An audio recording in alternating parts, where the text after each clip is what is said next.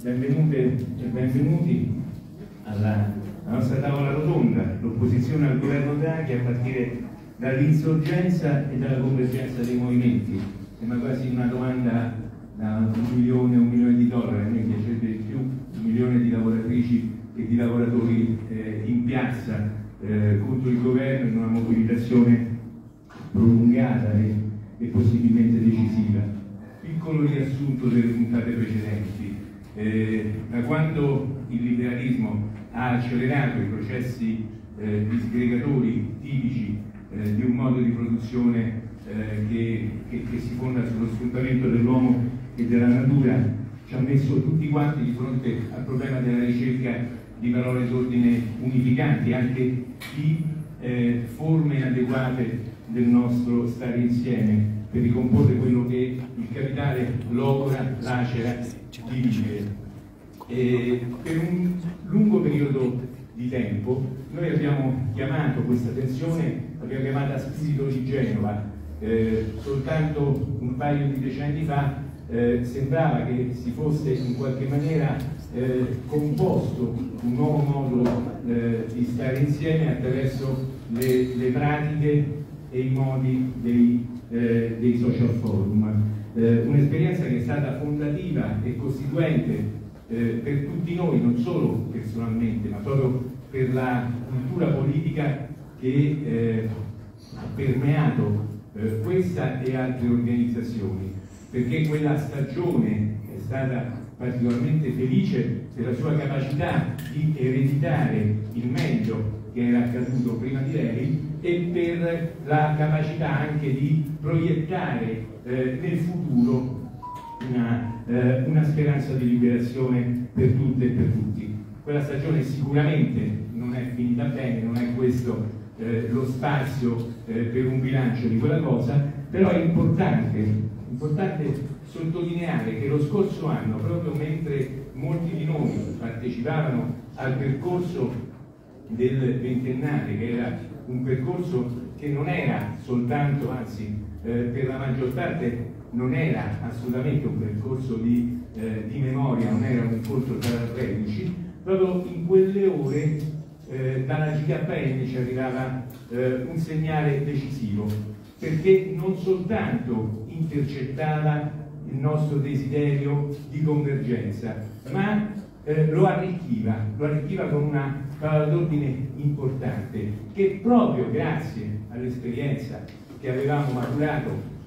dentro quella stagione di conflitto eh, che chiamiamo dei social forum, siamo stati abbastanza pronti a, a intercettare e a, e, e, e a, contribuire ad esplorare in, quel, in qualche modo. Dentro e fuori anche dal, dall'esperienza di, eh, di, cose come eh, la società della cura, eh, noi avevamo iniziato a discutere di convergenza dei movimenti anche eh, durante i mesi più, eh, più, incerti, più oscuri del, eh, del lockdown. Quindi quando a un certo punto la GKN ha fatto irruzione eh, sulla, sulla, scena pubblica noi eh, ci siamo trovati di fronte a delle nuove opportunità. Eh, per questo iniziamo questa tavola rotonda con, eh, con l'interlocuzione eh, decisiva in qualche modo eh, con Dario Salvetti e con il collettivo di fabbrica GKN perché sono importanti gli elementi di bilancio e di rilancio in una fase in cui non soltanto la vertenza, ce l'ha spiegato questa mattina, la vertenza della, della fabbrica è il momento più delicato, lui ci ha spiegato che è il momento in cui eh, tutte le vertenze si trovano eh, in, un momento, eh, in un momento critico ma è un momento eh, importante anche per quello che riguarda la proposta complessiva dell'Insorgiamo che il collettivo GKN ha messo a disposizione di tutti. Dario Salvetti.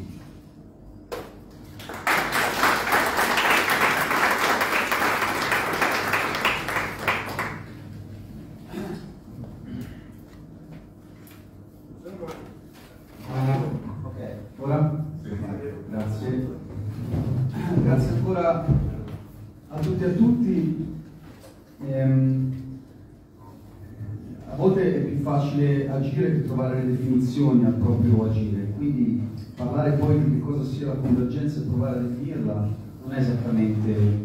semplice. Io direi innanzitutto, ok, io direi innanzitutto che per quanto mi riguarda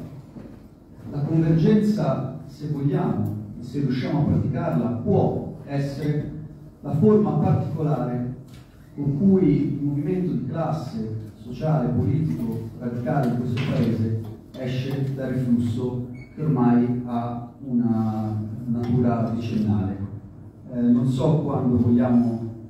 datare l'inizio del riflusso italiano, se lo vogliamo datare dal 2007, dal 2006, dal 2008, non dico che non sia successo nulla in questi anni, che non ci siano state mobilitazioni sicuramente significative, ma di fatto c'è un prima eh, 2008, c'è un post 2008. Qualsiasi siano gli schemi che sono stati provati in questi dieci anni, e ognuno ha avuto in questi dieci anni i propri percorsi politici, sindacali, programmatici, c'è chi ha proposto coalizioni, c'è chi non le ha proposte, c'è chi ha provato crescite autocentrate. La verità è che qualsiasi sia il,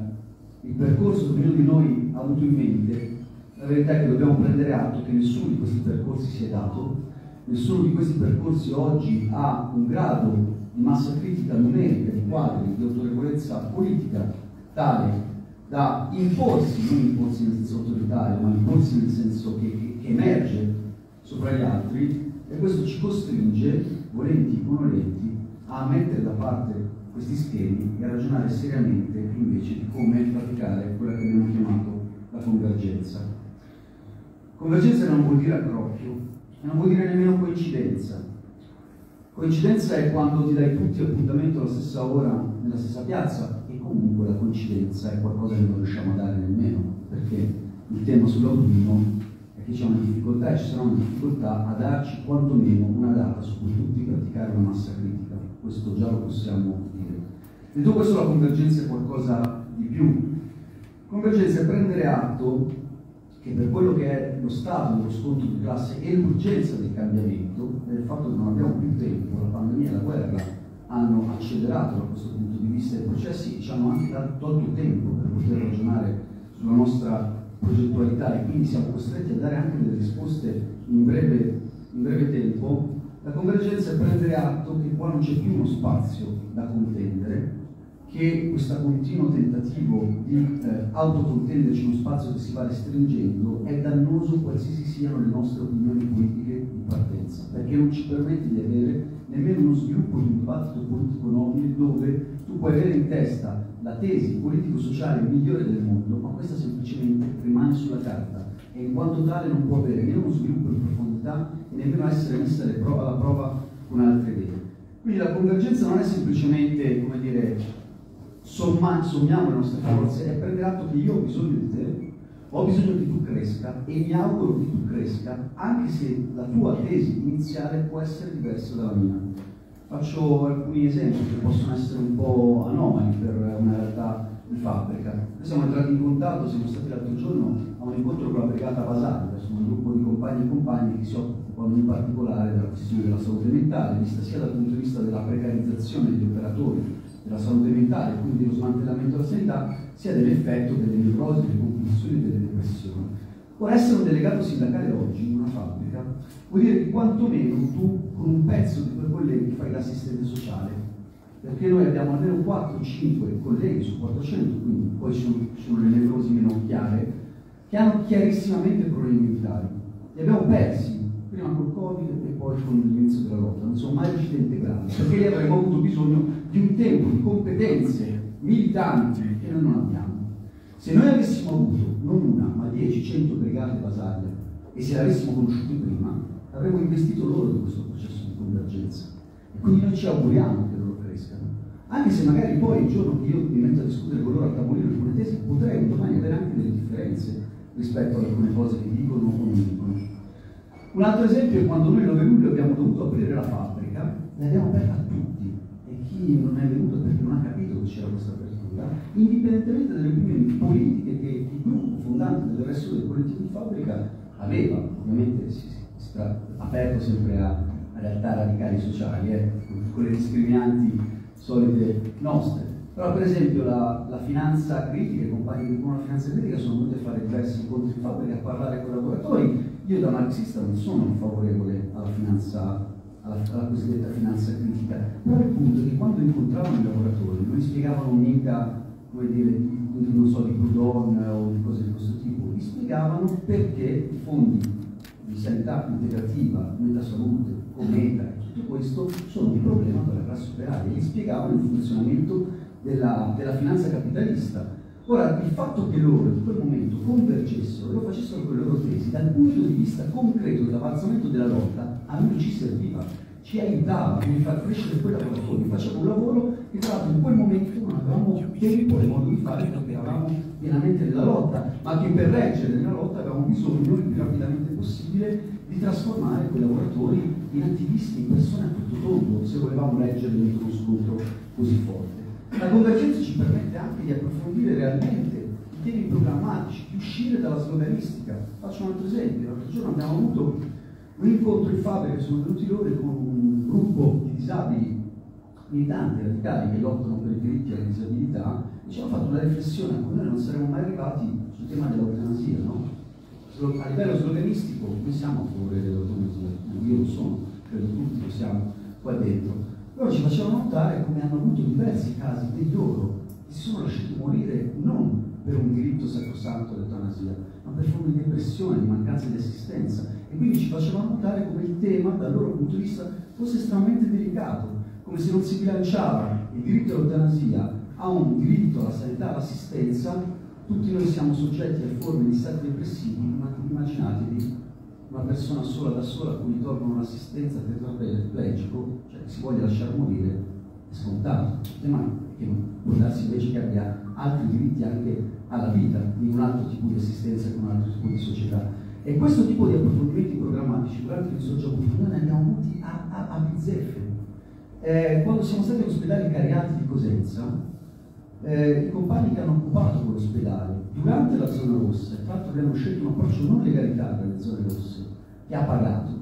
eh, e che hanno occupato quell'ospedale, hanno vinto, perché l'ospedale era aperto, ci hanno spiegato però come i primi infermieri che sono arrivati erano partite IVA, quindi di fatto l'ospedale non è riuscito a riaprire. Cioè scegli effettivamente dentro, eh, vai in profondità alla radice, alla radicalità del tuo programma, e ovviamente la convergenza per darsi bisogno di radicalità e anche di insorgenza, cioè di collegarsi a punti di lotte reali attorno a cui, attorno a cui convergere. E di conseguenza non è un caso che noi siamo partiti dicendo insorgiamo, poi abbiamo aggiunto che per insorgere bisogna convergere, per convergere bisogna insorgere, cioè esiste un meccanismo per il quale se tu crei un punto di resistenza, se attorno a quel punto non c'è massa critica e viene data la convergenza, quel punto non resiste contemporaneamente la convergenza senza punti di insorgenza, cioè senza porsi il problema di cambiare rapporti di forza, è un accroppio che non va da nessuna, da nessuna parte. E questo ci permette di creare un immaginario collettivo e ci permette anche piano piano, attraverso forme di convergenza, uscire anche un po' dalla lista della spesa. Un altro problema che noi abbiamo, da quando in qualche modo le soggettività politiche radicali sono state ridotte ad essere minoranze in questo paese, espulse dal dibattito pubblico, che noi ogni volta che facciamo un'iniziativa, un documento, dobbiamo sempre fare l'elenco della spesa, no? eh, salario, insorgiamo invece per quanto ci riguarda è a un certo punto una scorciatoia mentale che deve contenere tutto quello, che ci permette non ogni volta di elencare tutti i punti classicamente, fanno parte del nostro bagaglio culturale e politico e programmatico classico, ma di scendere nel dettaglio su come noi elenchiamo effettivamente per questi temi. Eh, l'altra questione credo, ho finito, è prendere atto non solo che siamo per fare la convergenza con chi è a favore di questa convergenza, ma la convergenza si rivolge anche a chi questa convergenza non, non la ritiene utile. Noi pensiamo che la convergenza in questo momento debba essere anche eh, un modo di incalzare chi ritiene ancora di avere il diritto alla frantumazione nel nostro scenario politico sindacale. Questo diritto è perso, il diritto alla settore alla frantumazione è perso. Un conto è il diritto alla propria opinione, a coltivare, a costruire la propria organizzazione, ad avere le proprie tesi che è un diritto sacrosanto, un conto è invece coltivare frantumazione. Ecco, chi oggi nel nostro paese, nel nostro campo di classe, coltiva frantumazione politico-sindacale ha perso questo diritto. Ad esempio, finisco con questo esempio, noi abbiamo rivolto un appello ai portuali di Genova, al Caldo, a convergere, siamo resi disponibili, visto che loro stanno bloccando le armi. Secondo me questo è un elemento fondamentale nell'immaginario del movimento contro la guerra che ci aiuta a mettere il movimento contro la guerra sui piedi, come dire, a, a mettere a terra il movimento contro la guerra e a non, non perderci in discussioni legittime di geopolitica, ma che poi alla fine finiscono per farci dimenticare che ad oggi il primo diritto all'autodeterminazione che noi dobbiamo esercitare non è né quello a favore della patria ucraina o, o dei, dei, dei, russopoli, ma è quello degli internazionalisti di fermare l'escalation militare mondiale, perché questo è il primo diritto che mi sento di, di, di, di, praticare e questo qua in questo paese vuol dire opporsi all'invio di armi e alla, alla crescente spesa militare. E siccome loro questo lo praticano, noi siamo messi a disposizione per una manifestazione che convergesse in maniera importante già a luglio, già per fine luglio, su Genova e che fosse un ulteriore trampolino di lancio verso il tenente libero. Questa manifestazione non si farà perché di fatto questo nostro diritto è stato derubricato per scontri intersindacali, questa è la verità, e perché noi apparteniamo come collettivo di fabbrica per lo più a un'organizzazione sindacale diversa dal, da quella del, del, del CAD, non è un problema, noi il 30 prendiamo un pullman e siccome c'è l'anniversario del governo Tambroni di Genova, di insurrezione vera, vera e materiale, noi andiamo, andiamo, perché il diritto alla frantumazione è perso e andiamo anche quando non siamo invitati a, far, a praticare convergenza. Così abbiamo fatto con l'Italia, così abbiamo fatto tutte le volte che siamo entrati in contatto con movimenti, con movimenti eh, reali. Quindi questa è come la vediamo. Ultima cosa, convergenza vuol dire anche che prima di mettere la mia data, il mio progetto, la mia scadenza sul, sul, sul, sul calendario, mi preoccupo di vedere che cosa fanno gli altri e contemporaneamente mi tengo sufficientemente libero per convergere laddove si danno punti di insorgenza. In Toscana, in questo momento, il rigassificatore che vogliono fare più Piombino non lo faranno, non hanno i rapporti di forza per farlo. La base a Coltano non hanno i rapporti di forza per farlo. Lo sgombero della città la denuncia nostra, nonostante la vorrebbero fare, non hanno i rapporti di forza per farlo. Questo significa che grazie alla massa critica che noi riusciamo a mettere in campo, convergendo attorno a questi punti, noi non vinciamo, ma loro iniziano a perdere e iniziano a dover utilizzare un mimetismo politico-sociale per portare avanti le stesse identiche parole d'ordine perché non hanno più la forza di rivendicarle apertamente.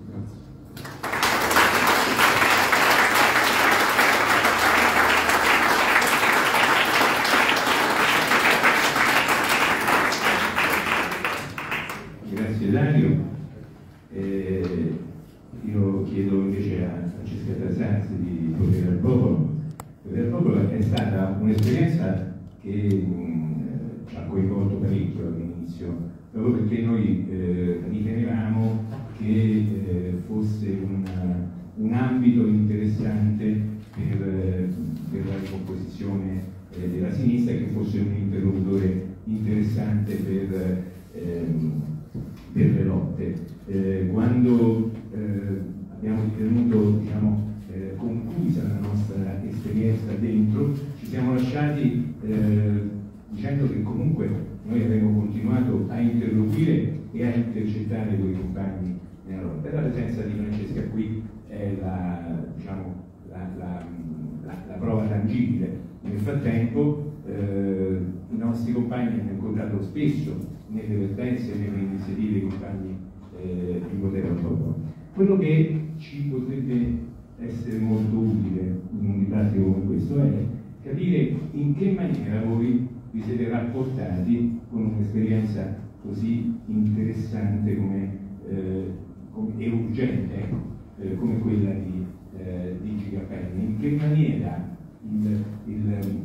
il tema dell'insorgenza e della convergenza ha attraversato le vostre sedi, i vostri spazi? E, e, eventualmente io non so se è il caso, però questa mattina Dario ci ha dato un altro suggerimento molto interessante, eh, quello di parlare comunque ad alta voce anche dei nodi critici. Quindi eh, eh, volevamo capire come un'altra organizzazione si è rapportata alle parole d'ordine della convergenza e dell'insorgenza eh, stando molto vicino, li abbiamo visti, lo sappiamo, insomma, eh, a Gigaferne. Eh, questo?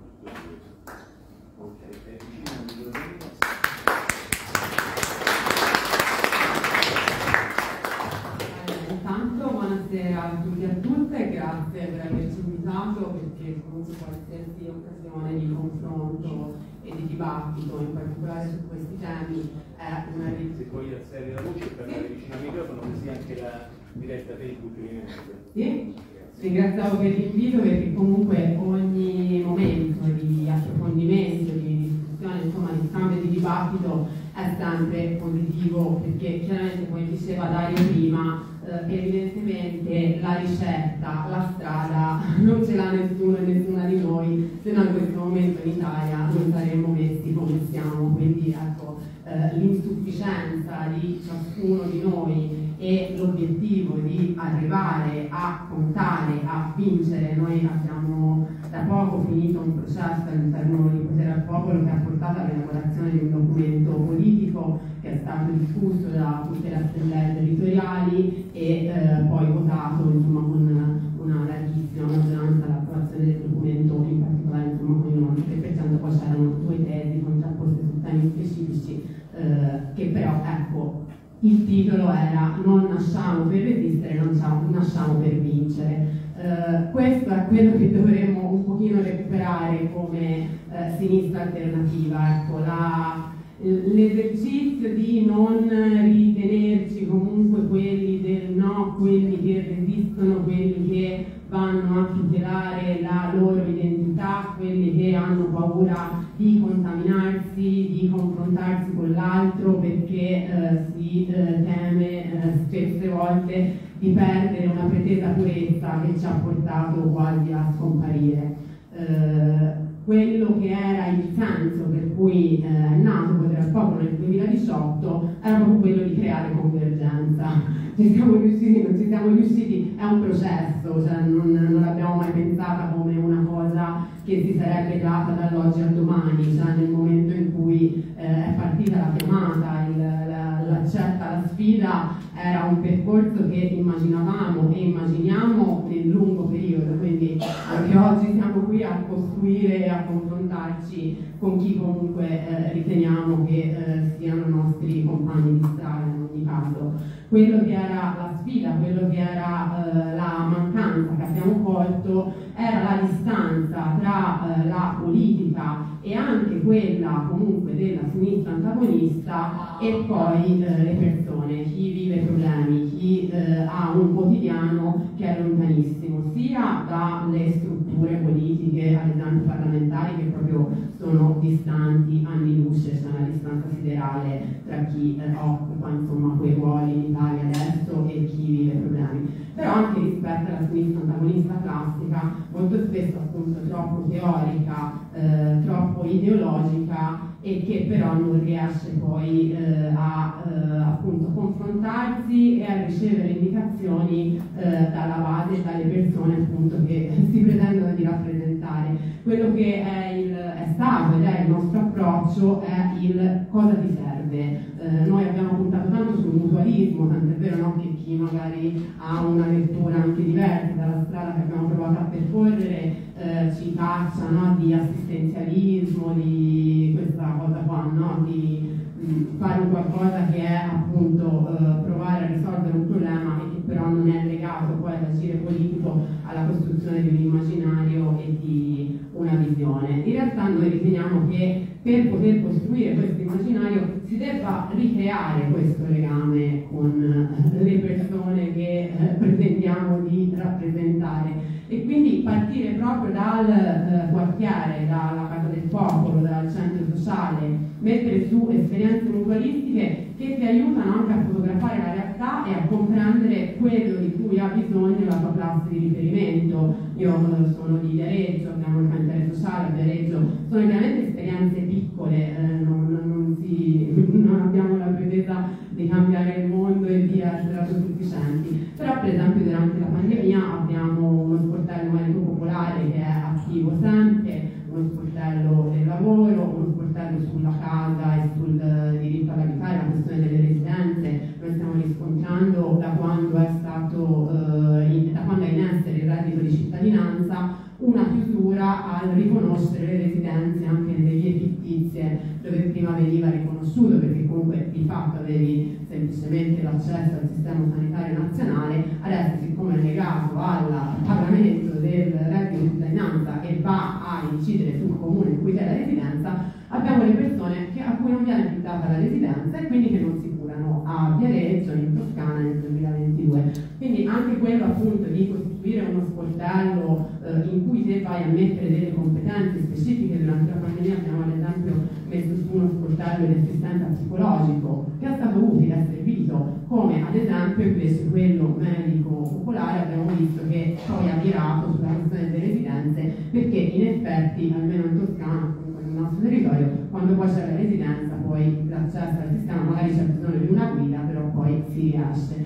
Quindi quello che volevo dire è che convergenza che significa? Significa mettere insieme tutte queste esperienze, significa appunto andare a vedere dove ci sono i soggetti reali e coinvolgerli, perché quello che è stato poi anche tutto negli ultimi vent'anni e anche poi la parabola eh, ultima purtroppo del Movimento 5 Stelle che comunque ha creato grosse aspettative eh, di eh, antipolitica, raccoglieva comunque un senso anche iniziale, anche di tematiche ambientaliste, almeno una parte di questo, che sono state disattese di nuovo, deluse di nuovo, crea sempre no, questa sfiducia di dire ma eh, tanto non cambia niente. Invece quello che noi riscontriamo è che esperienze di lotte, esperienze di resistenze, vertenze specifiche sui temi ambientali, lo ricordava Dario prima, Coltano 321 eh, si è messa su una mobilitazione che ha inciso, che è andata a intervenire anche in una dinamica istituzionale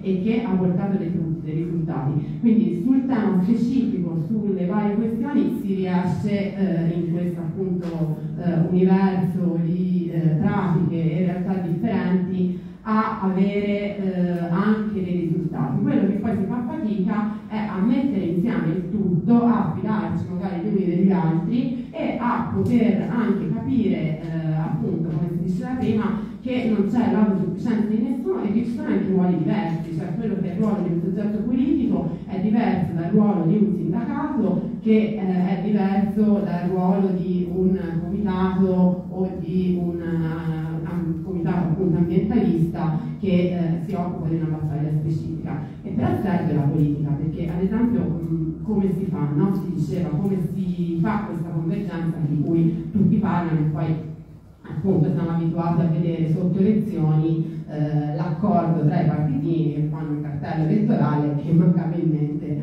prende lo zero virgola. E GKN è un esempio virtuoso, eh, torno al punto della domanda, come vi siete rapportati. E ci siamo rapportati eh, come è quella che è un po' la nostra natura, cosa serve noi con quello che, eh, che, che contributo possiamo apportare. E in questo si è rivelato ad esempio molto utile il telefono rosso, che era un altro strumento che avevamo apportato durante la pandemia, che era sostanzialmente un telefono fatto eh, da eh, giuristi e giuriste, da eh, comunque compagni e compagni che si occupano eh, in particolare del diritto del lavoro, che durante la pandemia era sempre acceso e rispondeva a richieste di lavoratori la questione appunto emergenziale e quant'altro e questi giuristi e queste giuriste con altri insieme agli operai perché poi anche lì non è semplicemente la eh, professionalità, la competenza, è la professionalità, la competenza messa a disposizione del soggetto che vive eh, in quel momento il conflitto sociale e messi insieme si riesce poi ad avere una proposta di legge. Anche lì, proposta di legge che però se non abbiamo Matteo Mantero, senatore, e non abbiamo le deputate di manifesta, non arriva mai nelle stanze in cui si decide. Quindi convergenza è esattamente questo, stare nel conflitto, perché la base è quello, cioè senza il soggetto reale, senza il lavoratore e la lavoratrice, senza gli studenti e le studentesse, abbiamo gli studenti in carcere per aver fatto una manifestazione, in carcere, cioè, è una cosa che è allucinante, allucinante. Quindi recuperare tutto questo che c'è nel nostro paese, si muove, non è vero che non c'è, però va semplicemente recuperato con mh, assoluta umiltà, nel senso di dire eh, appunto nessuno ha in questo momento la, i numeri per fare la famosa egemonia, però allo stesso tempo senza neanche pensare di non riuscire a incidere, di non riuscire a fare, perché se mettiamo insieme le competenze con i soggetti reali e riusciamo a portarle sul piano della rappresentanza e poi le cose si fanno. Abbiamo portato eh, con sempre le, le parlamentari eh, un emendamento alla legge di bilancio per cui la, legge, la proposta contro le delocalizzazioni è stata discussa, cioè abbiamo portato la politica con quattro quattro deputati e un senatore, quindi con niente, con niente, a discutere un tema di cui il Partito Democratico e i 5 Stelle si riempivano la bocca perché sono tutti contro le delocalizzazioni, sono tutti contro per l'ambiente, sono tutti contro la guerra e poi si votano gli aumenti per le spese militari e si vogliono fare le basi eh, dentro i parchi naturali. Quindi anche riuscire semplicemente a portare quella contraddizione e a smascherare quello che è un messaggio assolutamente populista da quello che invece è un disegno, un obiettivo a lungo termine e avere la capacità di essere chiari nei contenuti, cioè anche eh, una convergenza è mm, funzionale se ha chiarezza nei contenuti e nel perimetro e sulla base di quella chiarezza nei contenuti e perimetro poi è aperta. Io se l'elettore della Lega che comunque è quello che eh, poi ci siamo persi per strada, eh, viene, si interessa in chiare, noi abbiamo partecipato alle elezioni amministrative a Camaiore e siamo riusciti a rileggere un consigliere comunale facendo il 4,8%, una cosa cioè con una campagna elettorale senza un soldo, un candidato sindaco che si è ammalato durante la campagna elettorale, cioè in condizioni veramente che dire in salita è dire poco. Siamo riusciti a farlo, eh, Rifondazione Comunista e Potere al Popolo, quindi comunque eh, soggetti che non hanno poi no, neanche questa grossissima eh, rappresentanza, perché siamo stati chiari sui punti, abbiamo parlato con le persone, abbiamo fatto una campagna elettorale in cui abbiamo individuato quelle 4-5 cose che erano necessarie per Camaiore e su quello abbiamo trovato delle risposte confrontandoci con i comitati, con le associazioni, eh, con i cittadini e le cittadine. Questo poi, se viene fatto, chiaramente con la costanza nel tempo, cioè uno semina oggi e raccoglie domani, non c'è niente che viene così estemporaneo, però se uno mantiene la coerenza e la chiarezza, poi avere la capacità di parlare con tutti, perché quando il nostro candidato sindaco, compagno, comunista, ha fatto il confronto con gli altri due e eh, quelli che sapevamo essere gli elettori di Lega, della destra, eccetera, applaudivano, alcuni compagni hanno detto, ah, ma io non voglio gli applausi della Lega. Ma io se sono sui miei temi e se riporto quella che è la mia base, il mio blocco sociale, al mio disegno, al mio immaginario, e li voglio sì, è il mio obiettivo. Cioè, il problema è che ora sono di là. Però ecco, come ricostruire tutto questo va fatto tutti insieme e bisogna semplicemente appunto dismettere un po' di identitarismo che non serve a niente a nessuno e recuperare il contatto con quella che è la nostra gente perché c'è e sta aspettando dei segnali e la Spagna, e la Francia e la Colombia insomma sono abbastanza esempi abbastanza chiari in questo. Chiudo dicendo che bisogna riportare assolutamente il protagonismo dei giovani e delle donne. Eh, io vedo, partecipo a vari incontri, a vari tavoli, quando siamo ai tavoli in cui si decide, ai tavoli di vertice, eh, a, appunto, a prendere decisione, non solo a fare, a fare numero, sono sempre tutti maschi, o quasi. Sono sempre tutti maschi, quindi questo è un punto che dobbiamo imporre perché comunque donne preparate, intelligenti, non tanto perché mettere la poca rosa, ma ci sono, ci siamo e il momento che vengano messe al posto in cui si meritano di stare.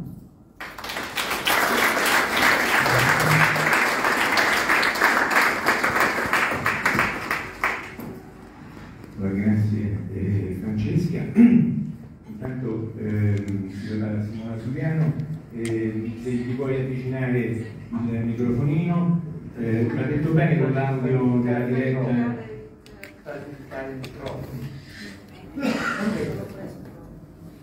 Che succede? Sanificare il microfono. Sanificare. Dagli quello, dagli quello, e poi dopo tanto quello lo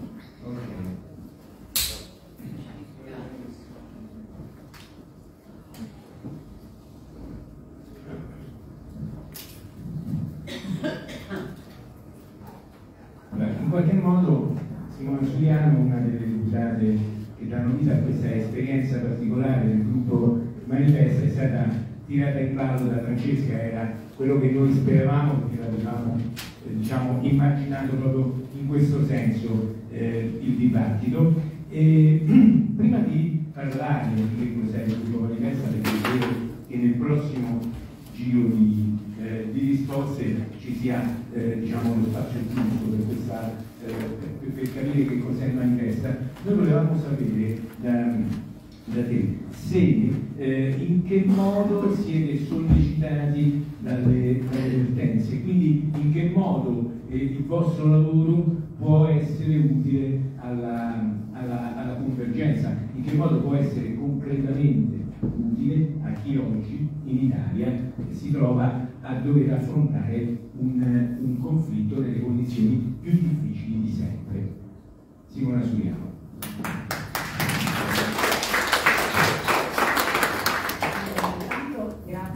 Grazie, per avermi invitata a questo importante appuntamento. Eh, Manifesta nasce dalla convergenza di quattro deputate, quattro colleghe che eh, dopo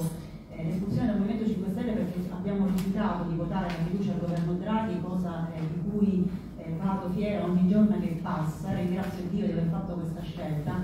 abbiamo deciso di eh, unire le nostre ehm, stanze, le nostre idee, le nostre battaglie che già ci vedevano unite prima eh, durante l'esperienza, durante eh, appunto dentro il partito del Movimento 5 Stelle portando avanti dei temi, delle istanze che poi non trovavano comunque eh, risposta dentro il, il, partito, quindi abbiamo deciso di costituirci come componente con eh, il supporto di Potere al Popolo e di Fondazione Comunista. È chiaro che eh,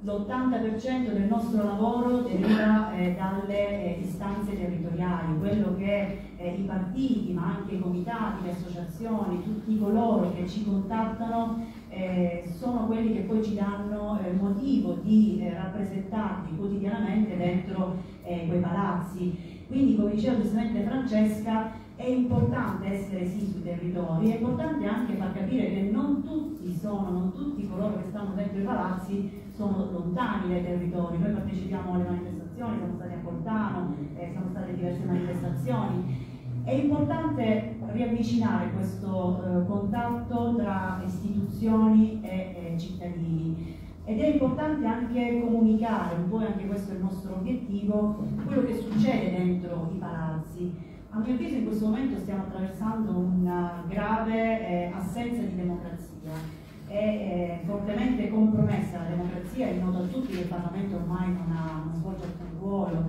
se non quello di ratificare continuamente decreti o eh, votare finte risoluzioni, l'ultima è stata quella di eh, qualche giorno fa quando è venuto Draghi a riferire in aula eh, una risoluzione che come diceva la stampa, addirittura la stampa, la risoluzione di governo, dovrebbe farla il Parlamento la risoluzione, non il governo, quindi ormai è palesato è chiaro a tutti che il governo se la canta, il governo se la suona, il governo se lo vuole quasi. se non fosse perché la Costituzione pone di passare dal Parlamento, sarebbe anche superfluo passare dal Parlamento.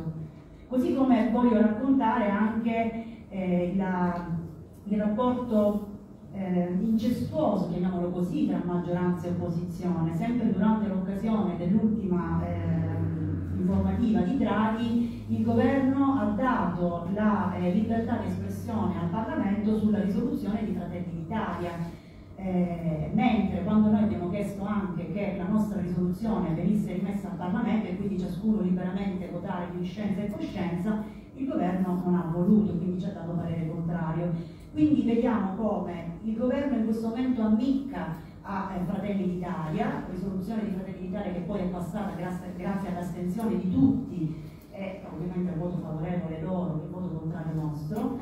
E quindi abbiamo anche questo rapporto incestuoso, per cui attualmente si può dire che non esiste neanche un'opposizione in questo paese, se non per noi quattro e qualche collega del misto che ha ancora una coscienza, in questo momento non esiste neanche un'opposizione in Italia. Non esiste il Parlamento, non esiste l'opposizione, quindi per me è gravemente compromessa la democrazia di questo paese. Detto ciò, un'altra cosa che volevo raccontare, è, mentre eh, attualmente il Movimento 5 Stelle sta passando, eh, vuol far passare la linea eh, dell'essere pacifisti e dell'essere contrari eh, all'invio delle armi sono coloro che hanno votato comunque l'aumento della spesa militare, hanno comunque votato il decreto Ucraina che fino al 31 dicembre di quest'anno permette di inviare armi senza passare dal Parlamento e quindi eh, non, anche lì il Parlamento completamente esautorato, non sappiamo neanche cosa e quanto stiamo mandando, anche lì totalmente segretato, mentre in altri paesi giustamente c'è l'elenco del materiale bellico che viene mandato in Ucraina, noi non abbiamo il diritto di sapere cosa mandiamo. E lo stesso Movimento 5 Stelle ha votato l'altro giorno la risoluzione di maggioranza che prevede di continuare con l'invio delle armi fino al 31-12-2022, secondo quello che vuole il governo. Quindi per noi è fondamentale, come hanno detto chi mi ha preceduto, convergere con la società civile, con i partiti di sinistra alternativa, di sinistra per me autentica, non alternativa, perché parlare oggi di PD come sinistra o di Movimento 5 Stelle come di sinistra per me sinceramente viene da ridere se non da piangere. Quindi noi vogliamo eh, riportare la sinistra autentica dentro le istituzioni, eh, dentro i palazzi, ma non perché è un momento in cui ci si deve eh, posizionare lì e eh, far carriera. Il nostro obiettivo è quello di creare questa coscienza collettiva, eh, come appunto ha fatto GKN, come hanno fatto anche i cittadini di Cortano, riunire tutte quelle istanze che partono dai territori affinché si arrivi agli appuntamenti elettorali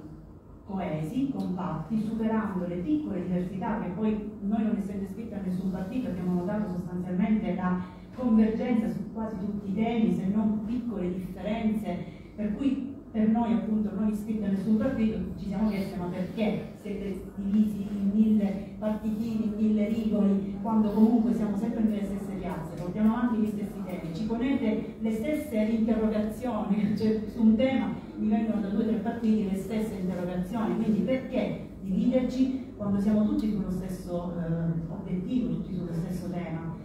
E quindi per noi è fondamentale ricostruire questa eh, base partendo dalle esigenze, che c'è veramente tante esigenze, giriamo l'Italia e c'è tanta serie di sinistra autentica che secondo me è stata anche raccontata male negli anni, un po' eh, denigrata, ne parlavo poco fa eh, fuori, i colleghi ci vedono un po' come eh, gli estremisti, radicali, in realtà siamo semplicemente quelli un po' secondo me di buon senso, che vogliono riportare certi temi che ormai sono scomparsi dall'agenda politica. Negli ultimi vent'anni, trent'anni la classe lavoratrice, l'ambiente, eh, i più fragili sono stati completamente abbandonati, non sono più temi che vengono portati dentro le istituzioni, si parla sempre di ripresa economica, eh, di imprese, eh, negli ultimi vent'anni è palese che la classe imprenditoriale è stata abbandonata a livello di tassazione, si parla di flat tax,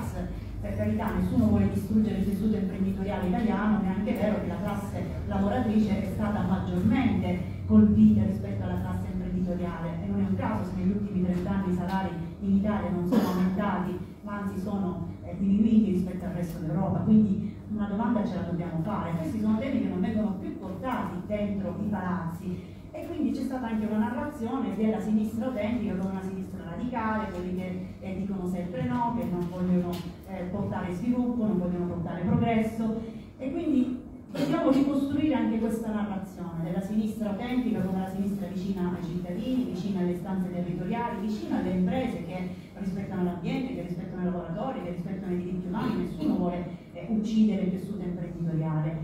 E io mi auguro che eh, questa esperienza, così come eh, l'esperienza GKN e l'esperienza Voltano, riescano a far eh, rinascere una coscienza appunto da parte dei cittadini, perché un'altra cosa che ho notato in questo momento hanno più potere i cittadini che si organizzano e convergono che i parlamentari, perché quando abbiamo portato il tema di Voltano, il tema della GKN dentro i palazzi, dentro il Parlamento, con soprattutto le battaglie loro, il loro insistere, resistere e lottare per questi temi, la politica ha dovuto occuparsene quando i cittadini non si organizzano e non resistono, la politica fa finta che non esiste il problema. Io ho avuto il problema della Pfizer a Catania, i lavoratori non si sono ben organizzati, non hanno resistito, il problema non è stato minimamente percepito dal eh, governo, nonostante le mie interrogazioni, le mie interpellanze, pazienza, la Pfizer se ne va da Catania, amen, non è un mio problema. Quando invece i cittadini si organizzano, i cittadini resistono, il governo per non fare brutta figura o comunque le istituzioni per non fare brutta figura di, eh, di fronte all'opinione pubblica deve considerare il problema, deve occuparsene. Quindi per me è fondamentale ripartire dalle lotte, ci aspetta un autunno, non so se definito caldo o freddo, visto che dovremo razionare anche l'energia e il gas probabilmente. Tra l'altro, piccolo inciso, le sanzioni stanno facendo più male a noi che alla Russia, ce lo diceva l'ambasciatore italiano in Russia, che le sanzioni non hanno minimamente toccato l'economia russa, anzi sta crescendo grazie agli accordi con Cina, eh, Brasile, India, quindi stiamo vivendo dei disagi per l'ingresso in guerra che gli italiani non vogliono. E quindi vivremo un periodo, un autunno caldo freddo dove io mi auguro che eh, i cittadini vi sia eh, una, eh, un sollevamento, una, eh, una, presa di coscienza da parte del, del popolo eh, e di convergere, non è il momento di dividerci, è il momento di unirci nella ripresa dei nostri territori, dei nostri diritti e con la consapevolezza che quando ci si organizza si riesce a, far, a farci sentire anche dentro i palazzi.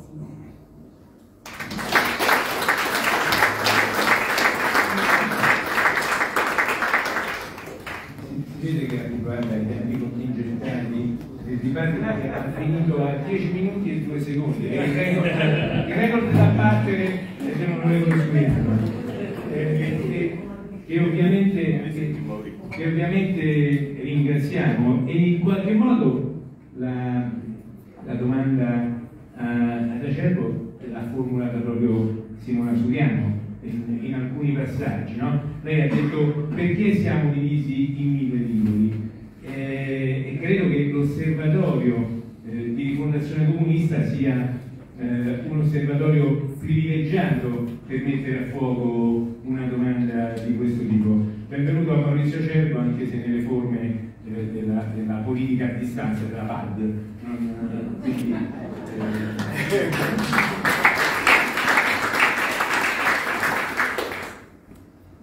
Un saluto a tutte le compagne e i compagni. Beh, per chi di viverci, io sono completamente d'accordo con, con Simona e è una domanda che mi pongo da tanto tempo. Eh, notoriamente sono uno strenuo assertore dell'unità, anzi molto spesso mi è stato anche imputato di essere un po' troppo unitario. Io francamente ne sono molto convinto, penso che sia eh, una precondizione eh, per fare tutto il resto. Eh, ritengo che sia stata una sciagura la frammentazione della vecchia rifondazione comunista della unità, qualunque fossero le ragioni, eh, però ovviamente ognuno ha fatto le sue scelte, quindi non voglio fare storiografia e soprattutto non voglio farlo in questa sede, insomma, con compagni e compagni con cui tra l'altro ovviamente sono andato sempre d'accordo anche in anni eh, lontani, anzi non soltanto diciamo sui contenuti e le scelte ravvicinate, ma molto spesso anche sulla visione della storia del Novecento, quindi è l'ultimo posto in cui eh, insomma ho da dissentire. Eh, io sono completamente d'accordo con la domanda che implica una risposta di Simone. In passato mi è capitato di avere dissensi con, cui, con chi mi teneva, anche nella esperienza iniziale di potere a popolo, che, a cui abbiamo partecipato tutti,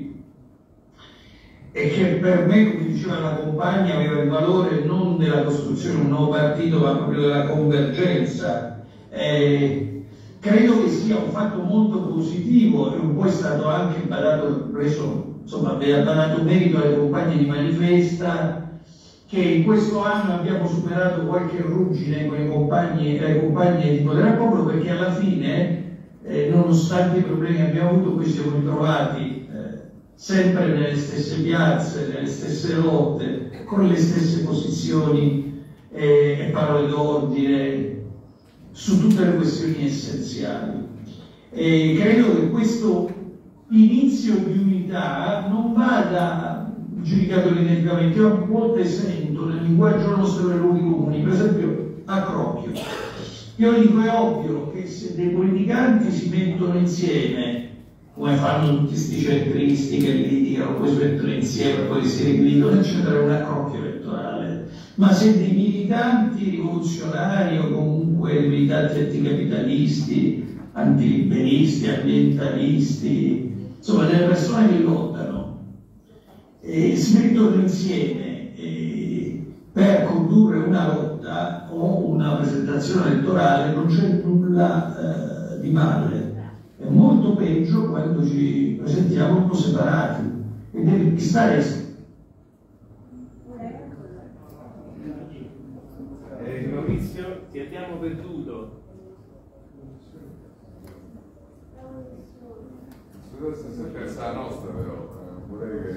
Maurizio, ti abbiamo perduto. Adesso forse ci sei. Mi sentite? Adesso sì, adesso ti abbiamo ripreso. Eh, vabbè, sarà un problema di collegamento perché Colau Ministro non è migliorata la qualità delle connessioni in Italia. Solo gli affari fanno ma neanche. Finché non metteremo un cyberpunk in qualche ministero non si avrà un regno da burro. Eh, ma comunque dicevo, eh, faccio un esempio, L'ultima tornata elettorale, non questa, in questa siamo, meno male, siamo sempre stati d'accordo laddove insomma c'eravamo quasi ovunque, ma la precedente campagna elettorale amministrativa a Torino tutti insieme, noi piccole formazioni della sinistra anticapitalista, intese nel senso lato, eh, non abbiamo preso il 25% di Melescione, però un dignitoso 2,5% che è un cittadino, un lavoratore, una lavoratrice, una precaria, un precario da linea, esistono. Eh, in altre città abbiamo presentato 3, 4, 5 candidature, liste in competizione tra di loro e la competizione è stata tra lo 0,5, lo 0,6, lo 0,7, lo 0,4. Beh, e la differenza tra un'area che lavora insieme cerca di costruire un'alternativa e eh, delle formazioni che qualsiasi lavoratrice o lavoratore considera un caso psichiatrico o una barzelletta. Quindi l'unità tra di noi, anche sul terreno che viene considerato un po' di snobismo estremistico, espressione di Pasolini a volte la noi come il terreno elettorale, l'unità è il meglio della divisione. A mio modesto parere ha senso dividerci solo quando ci sono delle ragioni forti di divisione. Certo, se ci sono posizioni strategiche differenti è giusto, ma quando come oggi in Italia, anzi come da qualche anno in Italia, abbiamo le medesime posizioni, la divisione è un peccato grave, è una fesseria. E questo a mio parere riguarda ancora di più la funzione delle lotte. Io sottoscrivo dalla ultima, prima e l'ultima parola quello che ha detto Dario. Io francamente lo dico, eh, io ho pensato alla lotta della GKN per quello che ha espresso il collettivo di fabbrica. Per me è secondario che i compagni della GKN siano iscritti alla CGL. L'avrei apprezzato lo stesso se erano dei Cobas, se erano dell'USB, se erano dei Cumbre, scusatemi se non elenco tutte le sigle, se erano del, del Sicobas. Ora, la logica per cui nel nostro piccolo mondo del sindacalismo conflittuale eh, il fatto che quei compagni GKN siano della CGL e della FIOM, maggioritariamente da quel che ho capito come iscrizione, eh, diventi una colpa, un problema da cui difendersi, eh, io credo che sia eh, sintomo di una ma malattia che riguarda la nostra area, come le piccole conflittualità e competizioni tra le nostre organizzazioni per prendere la testa del corteo io credo che siano tutti atteggiamenti ampiamente da superare e da superare perché quando noi riusciamo a costruire una lotta vera o un'esperienza anche sul terreno elettorale espansiva, beh, tutti quelli che si coinvolgono, eh, per la maggior parte, non sono aderenti a nessuna delle organizzazioni che citiamo, magari lo sono stati, magari ci vogliono bene a tutti quanti, se ci vedono insieme dicono mi riavvicino, se siamo divisi neanche si avvicinano e dicono vabbè se non vi siete messi d'accordo tra di voi perché mi venite a chiamare. Eh, allora, conflitto, eh, io credo che ci sia un elemento fondamentale, lo citava Dario, che è il principio di realtà da cui partire. Questo paese era il paese in cui la sinistra radicale, anticapitalista, liberista era più forte d'Europa, aveva una capacità con il dei movimenti e quando eravamo uniti con una rifondazione di mettere in piazza 100.000 persone quasi tutti i weekend, cioè avevamo una capacità di comunicazione che comunque andavamo in Europa ci veniva invitata e invidiata. Poi è cominciato il riflusso per tante ragioni che noi qui conosciamo siamo anche piuttosto d'accordo sulle diagnosi, essendo stato io uno di quelli che proponeva di far cadere il governo Prodi-bis, come presumo sappiate tutti quella sala, quindi non sono diventato più radicale a posteriori, diciamo. Eh, però andata così. Eh, questo principio di realtà dovrebbe, a mio parere, indurre tutte e tutti a uno spirito sincero di convergenza, a bandire l'idea di egemonismo eh, tra di noi e di competizioni che sanno di suicidio. Eh, a me fa piacere, nella, nella creazione della mobilitazione di Cortano hanno svolto un ruolo fondamentale, insomma un'esperienza in cui in cui Rifondazione è protagonista, non la lista, insomma la coalizione con Ciccioletta a Pisa e, e via discorrendo. Ma per qualcuno è fondamentale se quel consigliere che ha dato l'annuncio e, e ha fatto la chiamata era più vicino a Tizio Caio Sempronio, era fondamentale che c'è stata una chiamata e abbiamo tutti risposto e soprattutto ha risposto il territorio, la popolazione, l'associazionismo e via discorrendo. Ora, eh, io credo che abbiamo molte miserie da cui liberarci e un mondo da guadagnare, parafrasando il buon vecchio Karl Marx che se intendeva e che le sette siano sempre inversamente proporzionali al movimento reale. Noi siamo oggi delle piccole minoranze militanti, però credo che dobbiamo evitare ogni spirito settario tra di noi. E non solo tra di noi, anche con la realtà esterna, perché evidentemente eh, noi non siamo dei geni incompresi, anche nelle nostre modalità di fare movimento, lotte, politica, comunicare, ci sono evidentemente dei limiti, se uno come Casaleggio è arrivato insieme a Peppe Grillo e ci ha eh, spianato per dieci anni con una cosa, posso dire, Simone non si prenderà sicuramente così farlocca con un movimento che aveva eletto un personaggio, insomma, con tutto quello che è accaduto. Su questo concludo e io cito una compagna a tutti noi molto cara, della cui elaborazione io almeno sono molto debitore. Eh,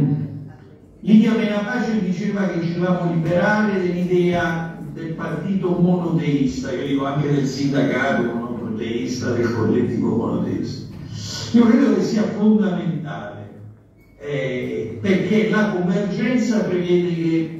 nessuno di noi pensi che la data che ha pensato lui è quella più giusta e l'unica importante, prevede che eh, non ci sia una gerarchia se non quella che riconoscevamo tutti quanti insieme delle scadenze, cioè quella e delle vertenze, cioè quella che è più espansiva o più percepita, eh, più rilevante. Eh, e questo io credo che Lidia ci ha lasciato in eredità un,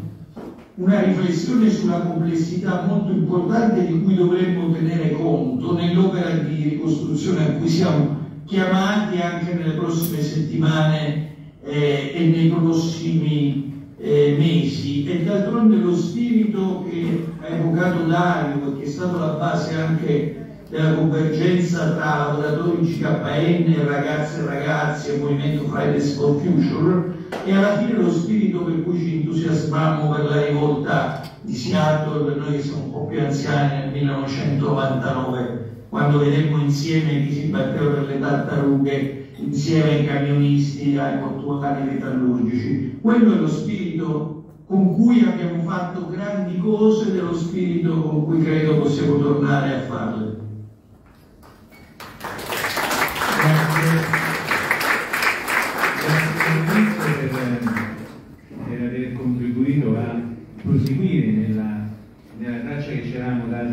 In partenza eh, di questa tavola rotonda. Armando Moggi è stato appena citato da, eh,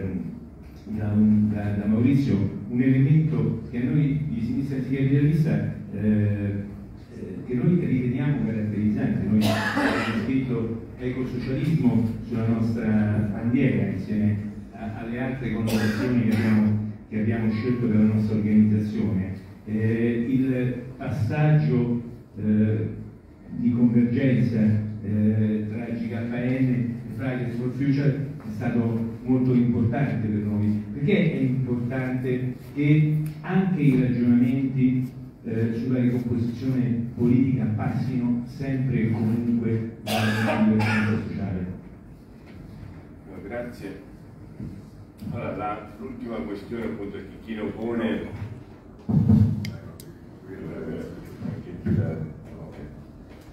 allora, la questione che, che Chino pone sulla convergenza eh, nei movimenti, nell'esperienza anche che eh, Leggi Cappelli ci ha consegnato, in realtà mi dà un doppio stimolo nella, eh, nella riflessione. Da un lato appunto quell'esperienza della eh, GKN che nasce da eh, una vertenza sulla delocalizzazione ha avuto innanzitutto la capacità di non rinchiudersi su se stessa ma di rilanciare invece una modalità che è oggi eh, diciamo, da leggere in maniera innovativa eh, rispetto al tema, alla convergenza di insorgenza, ma che eh, però dire, questo, eh, questo paese e eh, le nostre organizzazioni, come già viene detto, hanno attraversato eh, attraverso appunto i social forum, il movimento dei movimenti, i movimenti altermondialisti e su questo come dire, però un passaggio necessario è farlo senza come dire, riaprire in questo momento perché non è il luogo corretto un'analisi di quella decadenza. Però le macerie che abbiamo vissuto e di come oggi i cittadini eh, i lavoratori, le lavoratrici e le cittadine ci vivono anche in quello che ci raccontava eh, la Sudiano nel rapporto tra istituzioni e, eh, e, movimenti è stato determinato anche dire, da quelle macerie si sono determinate partendo dall'idea dal presupposto che eh, i governi a un certo punto erano permeabili ai movimenti. Questo dire, è l'elemento di rottura, di decadimento di quell'esperienza. Per cui oggi noi dobbiamo assolutamente ripartire sulla uh, costruzione della convergenza e dell'insorgenza avendo assolutamente chiaro questo elemento per non commettere eh, nuovamente gli stessi errori. E sulla questione appunto che si è determinata in questo anno, insomma, che eh, abbiamo attraversato, sulla spinta dell'esperienza della, della GKN, eh, Checchino citava da ultimo tutta la questione al rapporto con le questioni ambientali e il nostro approccio ecosocialista per una lettura complessiva di quella che è la proposta politica e anche la GKN per esempio ha fatto più volte una riflessione sulla questione del modo di produzione, su cosa produrre e su questo ha legato un rapporto particolare eh, con quel movimento che si è espresso in particolare a Firenze nell'ultima manifestazione. Però come ieri lo stesso Dario ci invitava a fare, come dire, affrontare anche i limiti che dobbiamo in qualche misura superare. Ad esempio un limite fondamentale è quello che quell'esperienza non è riuscita a ingenerare nei luoghi di lavoro, nei luoghi di produzione, quella stessa spinta propulsiva. E allora se noi vogliamo raccogliere eh, la proposta che eh, a Firenze nell'ultima assemblea è stata fatta sulla mobilitazione autunnale che non dà, va data mai per scontato, cioè quando si fanno i seminari a fine estate ci sarà un autunno caldo. Vi prego no, perché sarà un, un autunno drammatico per la, per la, classe, per i lavoratori e le lavoratrici se continuiamo a vivere in queste condizioni. Però se vogliamo cogliere quell'esperienza è necessario come dire, partire dicevo, da questi elementi di debolezza che però sono nati, uno da una condizione di rassegnazione spesso esistente nei luoghi di lavoro rispetto all'atteggiamento sindacale e delle organizzazioni anche politiche eh, esistenti. Dall'altra anche da parte dei sindacati, cioè dalla eh, competizione che si determina nei confronti di quell'esperienza particolare che la GKN rappresenta. Per cui anche rispetto alle, eh, alla costruzione di quell'accumulazione che noi vogliamo costruire che si eh, determini appunto in autunno, è necessario ad esempio affrontare e moltiplicare queste vertenze attraverso un'azione che ad esempio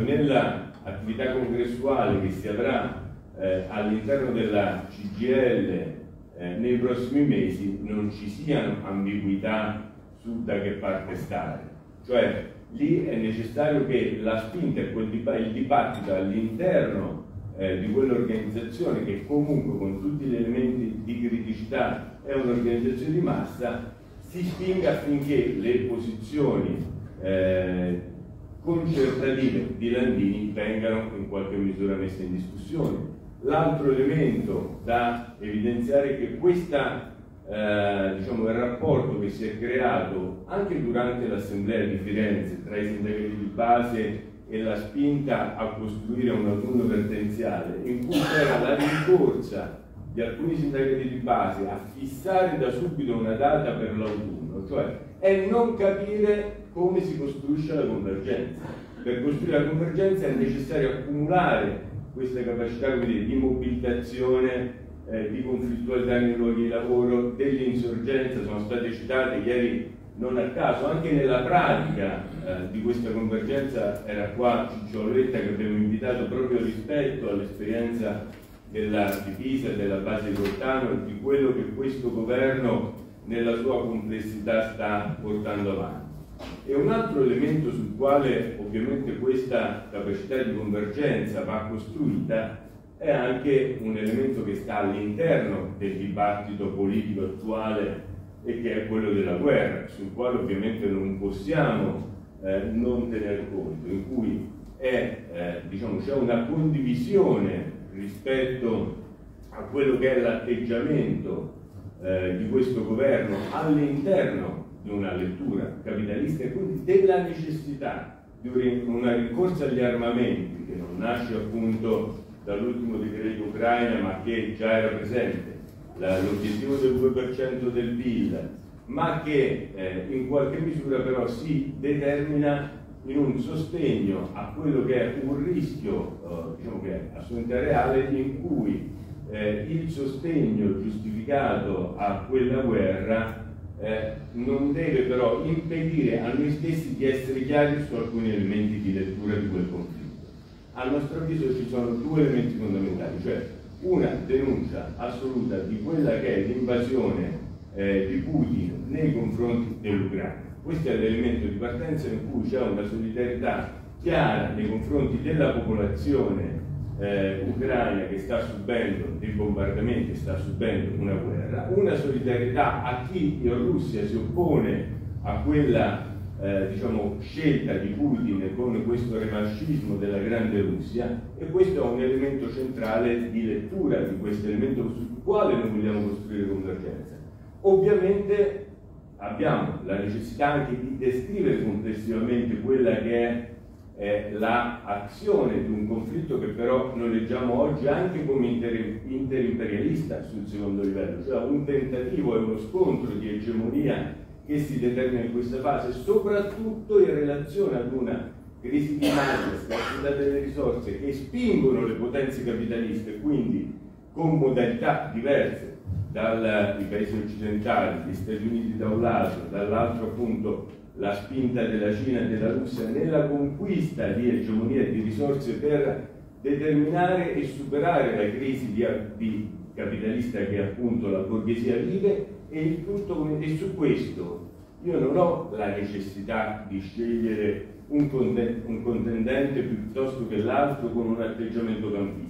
La mia posizione è di denuncia della guerra nella necessità di ricerca di una politica di de-escalation perché è solo questa che determina la vittoria della classe, cioè la fine della guerra è una vittoria dei popoli e della classe che noi vogliamo in qualche misura ricercare. Per cui questa attività e la necessità di costruire la mobilitazione autunnale deve essere centrata sulla questione eh, della crisi economica dei lavoratori e delle lavoratrici che oggi subiscono in una lettura complessiva che tenga presente eh, anche appunto la questione della guerra. E l'ultima questione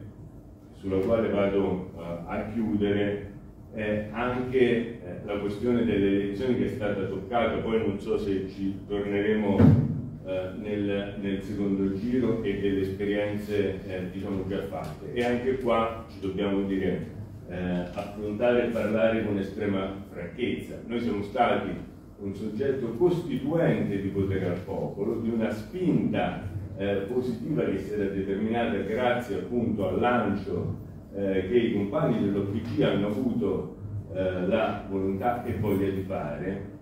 E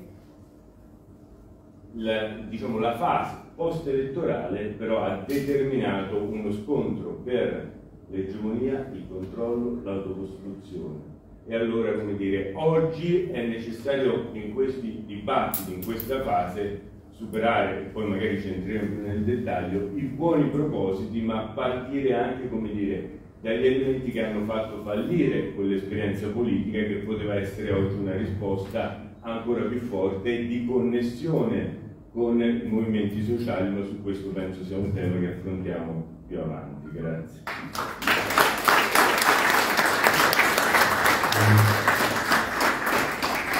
Infatti, diciamo, la conseguenza di tutto quello che ci siamo detti fino adesso è anche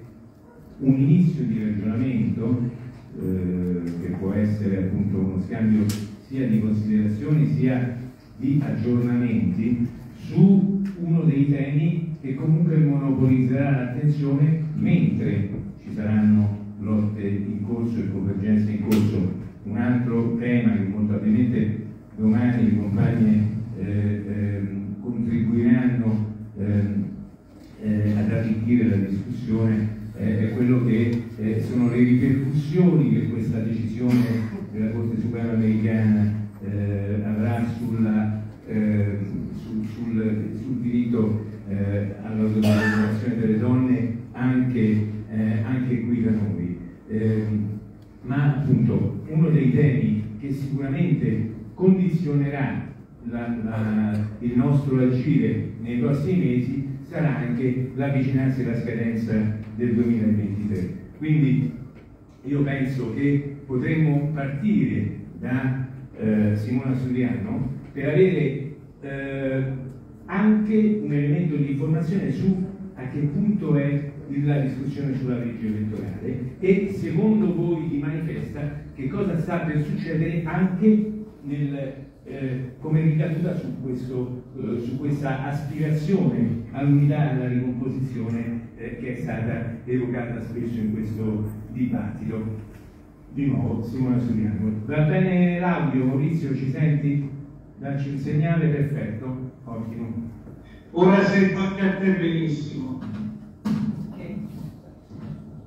Sì, allora, eh, per quanto riguarda la legge elettorale, ancora eh, più che altro leggo, leggo notizie, ma eh, di concreto non si sta muovendo tanto. È chiaro che la riduzione dei parlamentari e anche eh, i vari movimenti, abbiamo visto appunto la scissione del Movimento 5 Stelle, fa sì che molti stanno eh, ripensando dell'opportunità di una legge eh, proporzionale.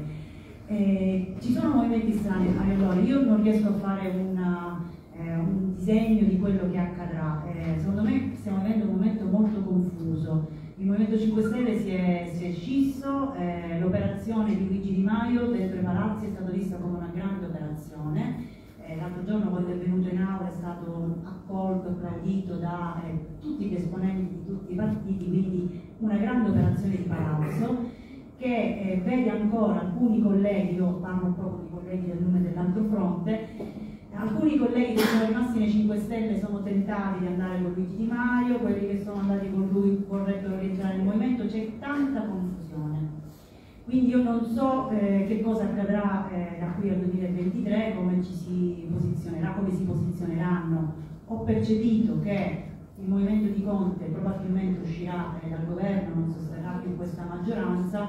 ma anche perché a livello elettorale non gli conviene più sostenere questo governo, nonostante io voglio ricordare le colpe del Movimento 5 Stelle, per carità, cioè finora hanno subito, hanno accettato tutto, quindi gli ultimi sei mesi non lo so, forse gli elettori gli ultimi sei mesi si eh, convinceranno della bontà della, eh, della proposta del Movimento 5 Stelle, non lo so. Quindi in questo momento io non riesco a fare eh, una eh, previsione di quello che accadrà. So che noi comunque ci stiamo continuando a muovere eh, nel di tutte queste istanze, la convergenza di tutte queste istanze, movimenti, partiti, eh, per dare un messaggio chiaro, netto, eh, se eh, il movimento di Conte vuole abbracciare questo nostro messaggio, essendo però eh, chiari nelle nostre scelte anche nelle loro, eh, nelle loro scelte, cioè eh, un po' è quello il motivo per cui io mi sono avvicinata al mio Movimento 5 Stelle, c'erano alcuni temi netti, chiari, eh, che speravo che una volta entrati al governo si portassero avanti, salvo poi eh, pentirsi sulla via di Damasco. Quindi se il movimento eh, di Conte eh, accoglie le nostre eh, battaglie, le nostre richieste, vuole eh, sposare le nostre richieste, non lo so, io non, non ho idea. noi continuiamo sulla nostra strada, che è quella appunto di convergere con temi che poi sono i temi dei cittadini che vivono quotidianamente eh, il problema del lavoro, il problema dell'ambiente. Io vengo dalla Sicilia dove peraltro l'appuntamento elettorale in Sicilia precede quello nazionale, quindi dobbiamo affrontare anche l'appuntamento regionale prima. Eh, quindi noi vogliamo eh, rispondere alle esigenze eh, delle classi che stanno soffrendo di più e sicuramente eh, questa guerra non, non sta minimamente eh, favorendo vogliamo dare una risposta chiara, netta, eh, senza paura, per me non è, non è, estrema, è una risposta chiara e netta, eh, sperando che eh, il cittadino capisca che c'è bisogno di cambiare, anche perché purtroppo, devo dire, la prima delusa che io, il Movimento 5 Stelle non ha dato quella speranza di cambiamento che eh, chi come me gli aveva creduto e gli ha dato eh, tempo e risorse sperava appunto nel cambiamento ci sperando che questa sia volta buona.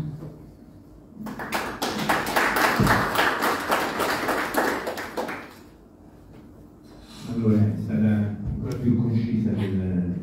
del, dell'altra volta e, e, e, io non seguirò, eh, come avete capito, l'ordine eh, di prima, perché mi interessava sentire Armando, che prima ha detto fondamentalmente una cosa, da quando la sinistra non è stata più percepita utile, perché durante il governo Prodi eh, ha perso la faccia, ha perso l'identità, proprio perché non è stata utile a niente, non abbiamo portato a casa niente, non solo come organizzazioni politiche non tanto come organizzazioni politiche, ma come classi popolari durante i due governi Prodi, che sono quelli che hanno visto il coinvolgimento della sinistra radicale, abbiamo dovuto, come si diceva una volta, ingoiare i grossi. Ecco, adesso per invertire la tendenza, che cosa si aspetta? Una, una forza eh, che, eh, come dire, non ha un, eh, una, una massa critica a disposizione, ma sicuramente ha una lunga esperienza e un radicamento in alcuni settori come sinistra ambientalista.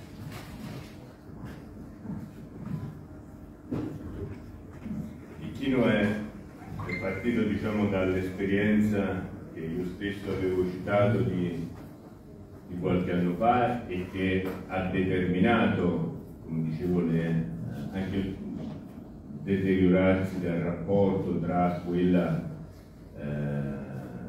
che era una sinistra di movimento e eh, i movimenti stessi, eh, i lavoratori e le lavoratrici.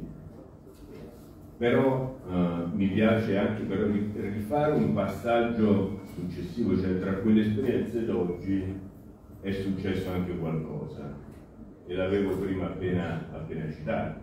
cioè questa necessità e voglia di eh, utilizzare le elezioni non solo come, diciamo, non come elemento e strumento che si basi sull'idea che siano eh, centrali per il cambiamento dal punto di vista sociale ed economico che noi ci aspettiamo, ma come momento anche di eh, proposta politica, di capacità di intervento eh, nelle eh, situazioni sociali eh, reali, così come prima ci veniva anche rappresentato dalla Suriano. La necessità di riattivare anche una volontà, disponibilità alla militanza, alla lotta eh, che va dal mutualismo alla vertenza territoriale, alle questioni ambientali, alle, ai conflitti sui luoghi di lavoro, è qualcosa che noi già abbiamo attraversato in qualche misura alle ultime elezioni, diciamo alle scorse elezioni politiche. Ed è stato un, un momento in cui noi abbiamo avuto, scelto, eh, dopo appunto eh, il lancio eh, dei compagni e delle compagne dell'OPG, la volontà e la scelta netta di partecipare a quell'esperienza. Ne siamo stati insieme ad altri uno dei soggetti costituenti e abbiamo, come dire, spinto affinché quell'esperienza non fosse semplicemente un passaggio elettorale, ma che potesse essere diciamo, un momento di eh, ricostruzione di uno spazio ampio, largo, che non determina semplicemente la soggettivazione politica il giorno dopo le elezioni, perché sarebbe come dire, eh, una cosa poco realistica e anche poco utile in quel momento. Eh, ma in realtà dobbiamo ricordarci come noi a un certo punto di fronte a scelte in quel dibattito che invece di porre al centro queste necessità si sono ripiegate su un'attività che era eh, diciamo autocentrata, noi abbiamo fatto una scelta come dire, di uscita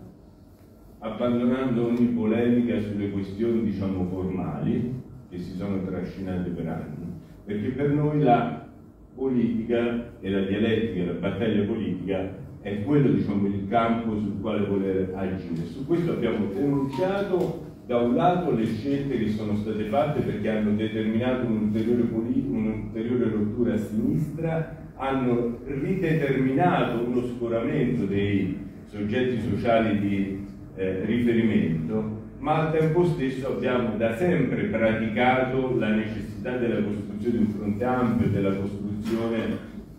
sociale e politica eh, che è necessaria in questo Paese. Ne abbiamo fatto diciamo, l'asse cardine di due congressi della nostra organizzazione, lo vogliamo praticare nel prossimo autunno sperando che la, la questione, diciamo, la mobilitazione eh, che si vuole lanciare in autunno accumuli le risorse necessarie. E su questo eh, Chicchino diceva anche prima da Giuliano c'è un passaggio uh, che determina in qualche misura un'accelerazione nelle prossime elezioni del 2023. Beh, io penso che invece questi due elementi devono avere una connessione importante, cioè qualunque ipotesi di eh, carattere elettorale può avere senso solo se la convergenza e l'insorgenza che noi proviamo a lanciare ha delle capacità di azione, esiste nella realtà sociale, ha una sua rappresentazione fisica, perché altrimenti è semplicemente la costruzione di un carattere elettorale. Beh, su questo noi vogliamo dire, stimolare anche questo dibattito che è aperto a sinistra, sul centrare il dibattito proprio su una costruzione che nasca dalle mobilitazioni sociali di carattere ambientale, del lavoro, della questione femminista, è su questo, delle questioni diciamo anche sul eh, razzismo che esiste in questo paese, su tutto quello che sta accadendo, potrebbero essere molti temi sui quali agire che ci, diciamo, ci accomunano anche e invece eh, venir meno a una discussione che è in qualche misura più politicista dove spesso l'elemento centrale del dibattito oggi è eh, la leadership di questa esperienza. Beh, noi crediamo che il dibattito centrale di queste ipotesi di lavoro non debba essere eh, se eh, De Magistris o meno debba, deve essere la, la leadership della prossima candidatura, ma se siamo in grado di costruire quella mobilitazione che dà senso a questa esperienza, che va oltre le leadership, ed è su questo che vogliamo lavorare, ed è anche il modo in cui eh, poi però eh, anche la rappresentanza eh, delle leadership hanno un senso nella politica e nella politica eh, attuale molto importante. E su questo ieri eh, Ciccio Auletta mi ha diciamo, stimolato un pezzo di memoria e di ricordo, anche se in breve termine, non storico, quando diceva io faccio il consigliere comunale al servizio dei movimenti e denuncio la nascita della base Voltano sono strumento delle mobilitazioni contro la guerra. Beh, al tempo stesso però, perdonatemi, ma in tutta franchezza lo devo ricordare come a, a, a Napoli eh, sull'annunziatella dei Magistris faceva l'accordo con il Ministro della Difesa per allargare la scuola militare eh, di, eh, dell'annunziatella stessa per l'esercito europeo. Per cui come dire, anche su questo è necessario dire,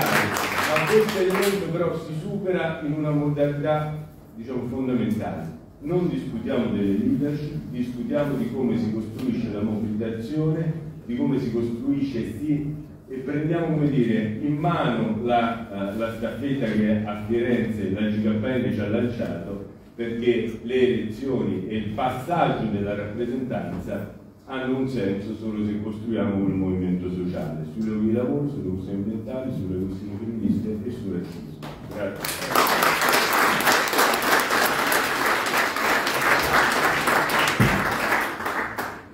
8 minuti e 40 e ancora Simona Suniano a tenere il primato anche se è, stato molto in gamba anche Armando. Francesca Rasatti, eh,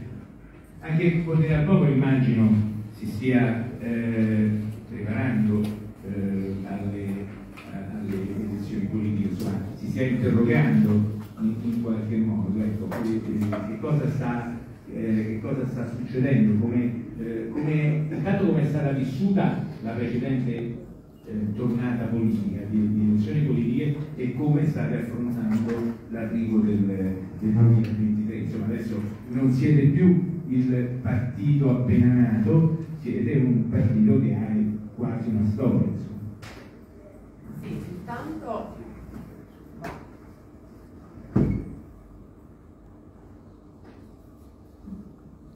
Sì, Intanto siamo molto felici di essere uno dei, forse l'unico partito uh, creato di questi appunto esperimenti che sono stati fatti uh, negli anni appunto da uh, sinistra variamente declinata comunque alternativa che esiste anche alla tornata successiva con lo stesso nome lo stesso simbolo che appunto quando si partì ci dicevano tutti, eh, tutti quanti c'eravamo dentro che ci saremmo sciolti dopo tre mesi e invece ad oggi abbiamo più di 50 assemblee territoriali comunque attive che appunto come dicevo prima hanno discusso un documento politico con delle tesi anche comunque appunto con un'analisi eh, che ha coinvolto i territori sia sul, sul rapporto che dobbiamo avere con i sindacati, in particolare con i confederali, e eh, sulla questione anche europea, quindi anche temi abbastanza complessi e questa ha visto proprio la partecipazione di tutte e 50 assemblee territoriali che eh, in un'assemblea poi nazionale che si è tenuta il 28 maggio eh, a Roma eh, hanno preso parola quasi tutte, quindi comunque anche uno sforzo di partecipazione e di riferirci realmente alla base come era quello il nostro obiettivo di partenza a distanza di 5 anni eh, possiamo dire che comunque ancora c'è. Ancora ci siamo e eh, come diceva anche Armando prima, l'elezione in sé, il campo appunto della rappresentanza non è mai stato il fine, è sempre stato il mezzo, nel senso che eh, la chiamata dell'ex PG da Napoli parte perché nessuno ci rappresenta, candidiamoci noi, cioè chi fa eh, realmente conflitto sociale, chi gestisce uno spazio sociale, chi è nelle lotte nelle vertenze, eh, ha bisogno di un terminale nelle istituzioni, ma non perché quella è la tua vocazione e la tua finalità ultima, ma perché ti deve servire come eh, strumento per poter poi attuare e praticare da un punto di vista politico quello che è il conflitto sociale che viviamo. Cioè, una volta avevamo parlamentari amici, al, al, di là del fatto di dover avere il tuo eh, che nasce appunto dalla tua lotta e che comunque ti davano il loro contributo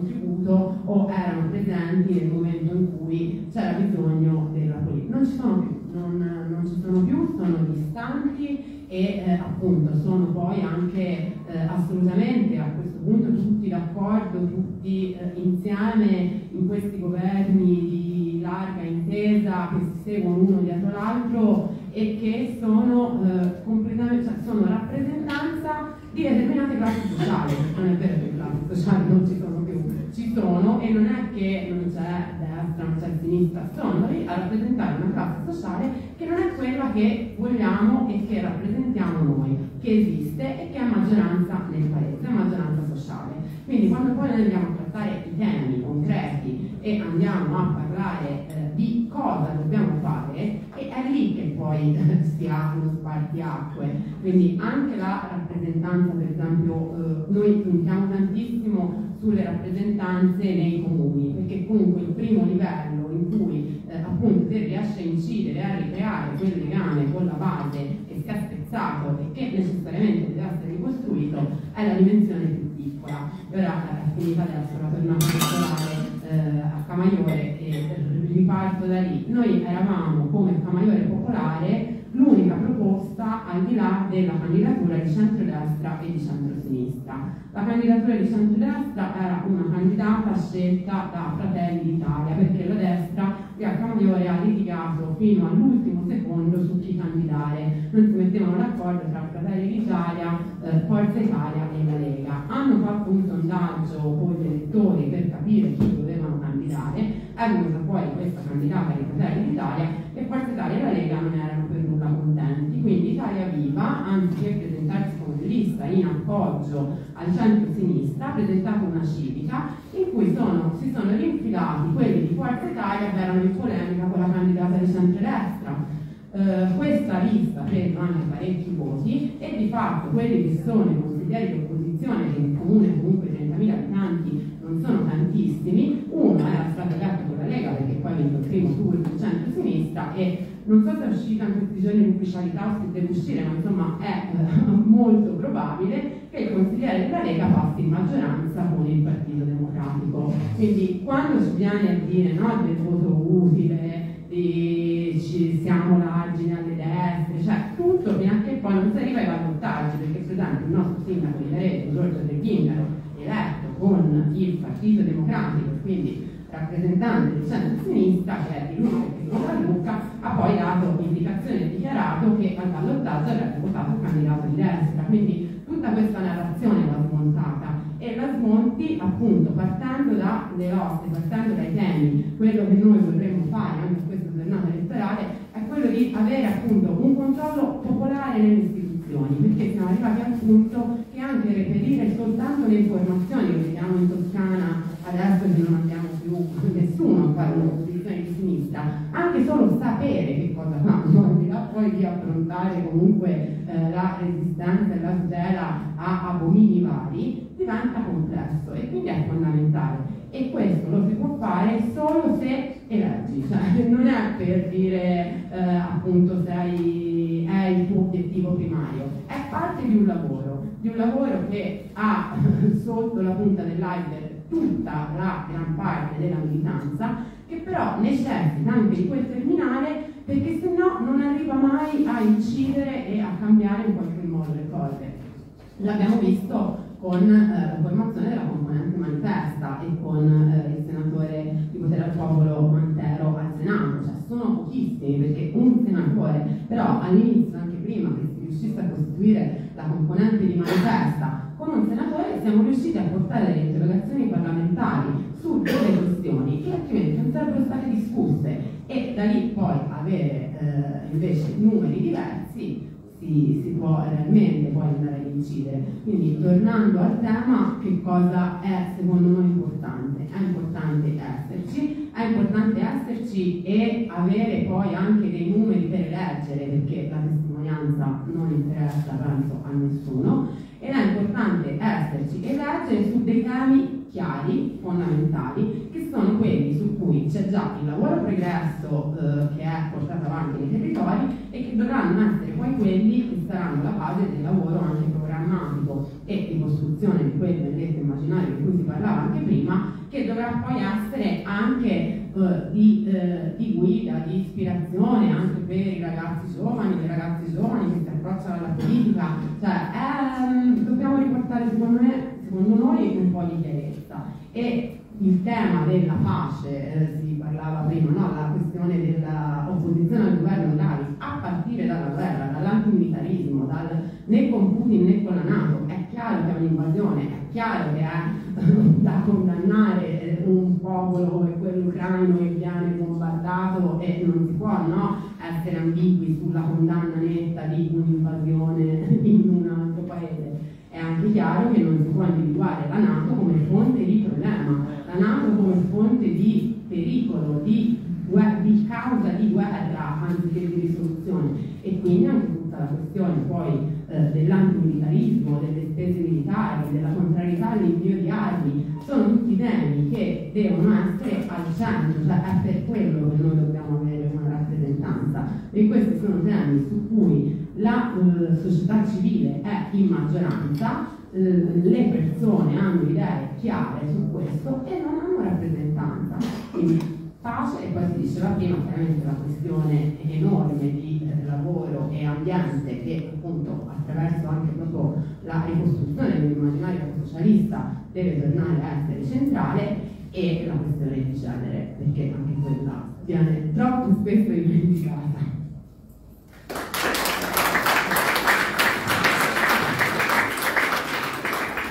Allora, grazie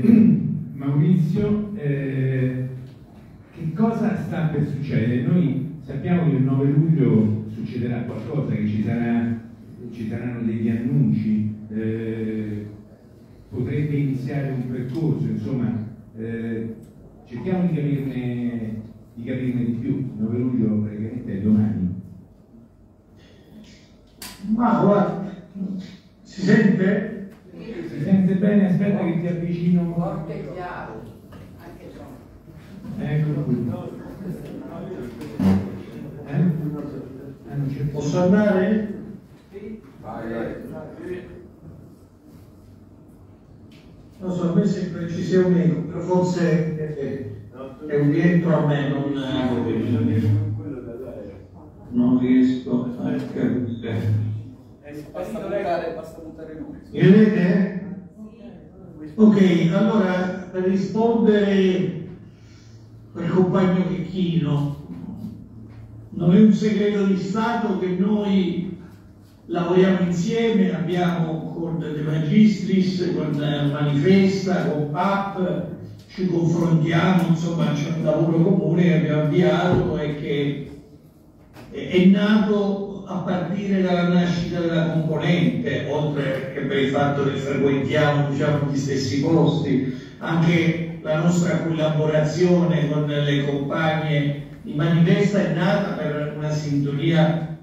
tra le cose da fare. Approfitto per fare un annuncio perché non mi ricordo se lo ha detto già Simona, ma eh, nella giornata di ieri sia io che Giuliano Granato e Marta Collò abbiamo scritto alla Presidente del Senato per eh, comunicare che anche insomma che ci riconosciamo come rifondazione PAB nella dichiarazione che hanno invitato i compagni Mantero e Paola Nunez a Calzenato. Eh, quindi noi discutiamo da tempo eh, su, su come creare una cosa che insomma ho notato che sia noi di Fondazione che Papa abbiamo usato la stessa espressione coalizione popolare, eh, ma non che pensiamo che questo debba essere il nome della come avviare un processo per creare eh, uno schieramento di alternativa e un progetto di alternativa nel nostro paese, che ovviamente non abbia solo lo scopo elettorale, ma che abbia anche lo scopo elettorale. Ovviamente fin dall'inizio ci siamo detti che questo processo non può essere la sommatoria solo nostra, anche perché noi non faremo niente senza anche la presenza di sinistra anticapitalista che mancherebbero di altre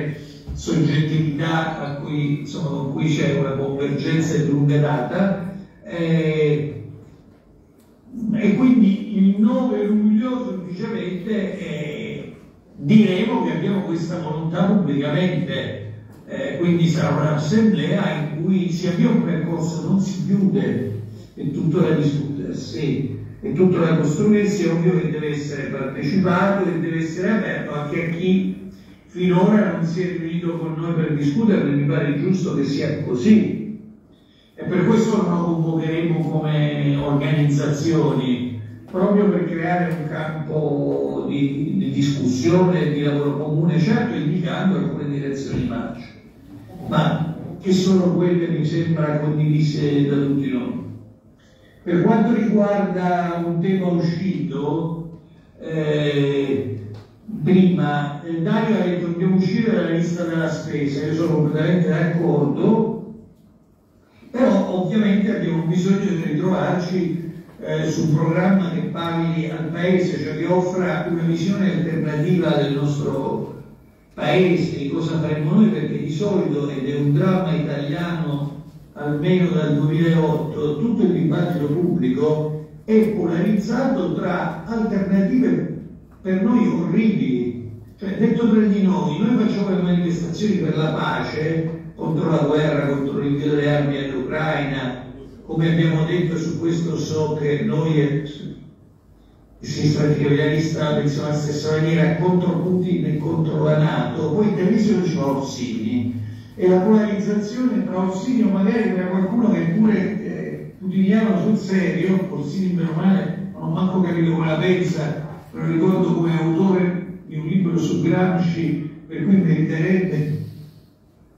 Va bene, mi, mi autocensuro, allora era il Beniamino di Saviano quando descrive Antonio Gramsci come, vabbè lasciamo perdere, un mostro totalitario, e, e questo è accaduto sui vaccini. L'Italia si è polarizzata tra un governo al servizio delle multinazionali farmaceutiche della sanità privata che però incarnava la scienza e chi dichiarava che era più facile essere colpiti dall'asteroide che dal Covid. Tesi che devo dire se l'avessi proposta a chi è stato del reparto con me mm, dell'ospedale credo non avrebbe trovato molto consenso pur rispettabile con tutte le opinioni. Però sostanzialmente Novax o Draghi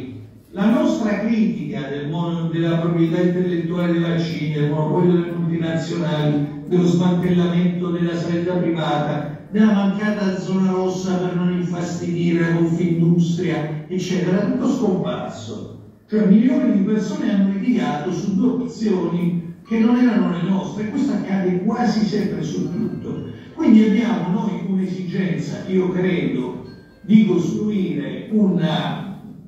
proposta che dia forza alle lotte e dia anche un po' di forza anche dentro le istituzioni che sia utilizzata come l'ha utilizzata Ciccioletta credo che sia utile. Vengo a un tema che è stato posto anche se non me l'avete chiesto a me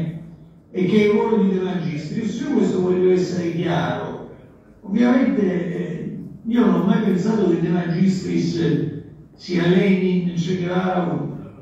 o, e neanche uno di noi. Probabilmente ha passato più tempo sui testi di diritto che sui sacri testi marxisti sicuramente ne ha passato meno di me e della totalità della platea riunita, ne sono certo. E probabilmente non è al 100% un militante marxista e comunista, ma sicuro, però sicuramente è uno che ha fatto una scelta di campo molto netta di rottura con il Partito Democratico e e l'ha portata avanti fino alle estreme conseguenze in questo anno, in questi anni, con contraddizioni, ovvio, ma nel processo in Venezuela non c'erano contraddizioni di altro tipo, in tantissimi processi in giro eh, per il mondo, anche in Francia. Eh, la figura di Mélenchon non è contraddittoria sicuramente, eh, però io credo che fondamentalmente noi non dobbiamo creare il partito o la coalizione di Magistris. Io credo che dobbiamo utilizzare la disponibilità di De Magistris, che è rara di questi tempi, perché chiunque abbia un po' più di notorietà mediamente passa dall'altro lato della barricata, al servizio del, eh, della nostra area, eh, ma non della nostra stare a queste sigle partitiche, ma di quella Italia che si ribella e non accetta eh, il draghismo e tutto ciò che non accettano tutti insieme. Eh, io credo che da questo punto di vista, certo con tante contraddizioni, questo l'abbia fatto a Napoli e anche in Calabria, non credo che sulla stessa scala si possa fare a livello nazionale, ma credo che possa essere un contributo utile, a patto che ci sia anche il resto, che non ci sia solo De Magistris, però lo dico, siccome siamo compagni e compagni in una vita di lotte alle spalle, ognuno con una diretta diversa a seconda della larga, ma eh, non ho complessi di, di inferiorità, non temo la sussunzione, penso che ognuno può portare nel progetto qualcosa di, di, positivo. Certamente il profilo della cosa che dobbiamo andare a costruire, eh, della coalizione sociale, deve essere ecosocialista, deve essere femminista, anzi questo è un particolare che tengo molto a sottolineare perché con sinistra anticapitalista condivido l'orticaria per il rosso-brunismo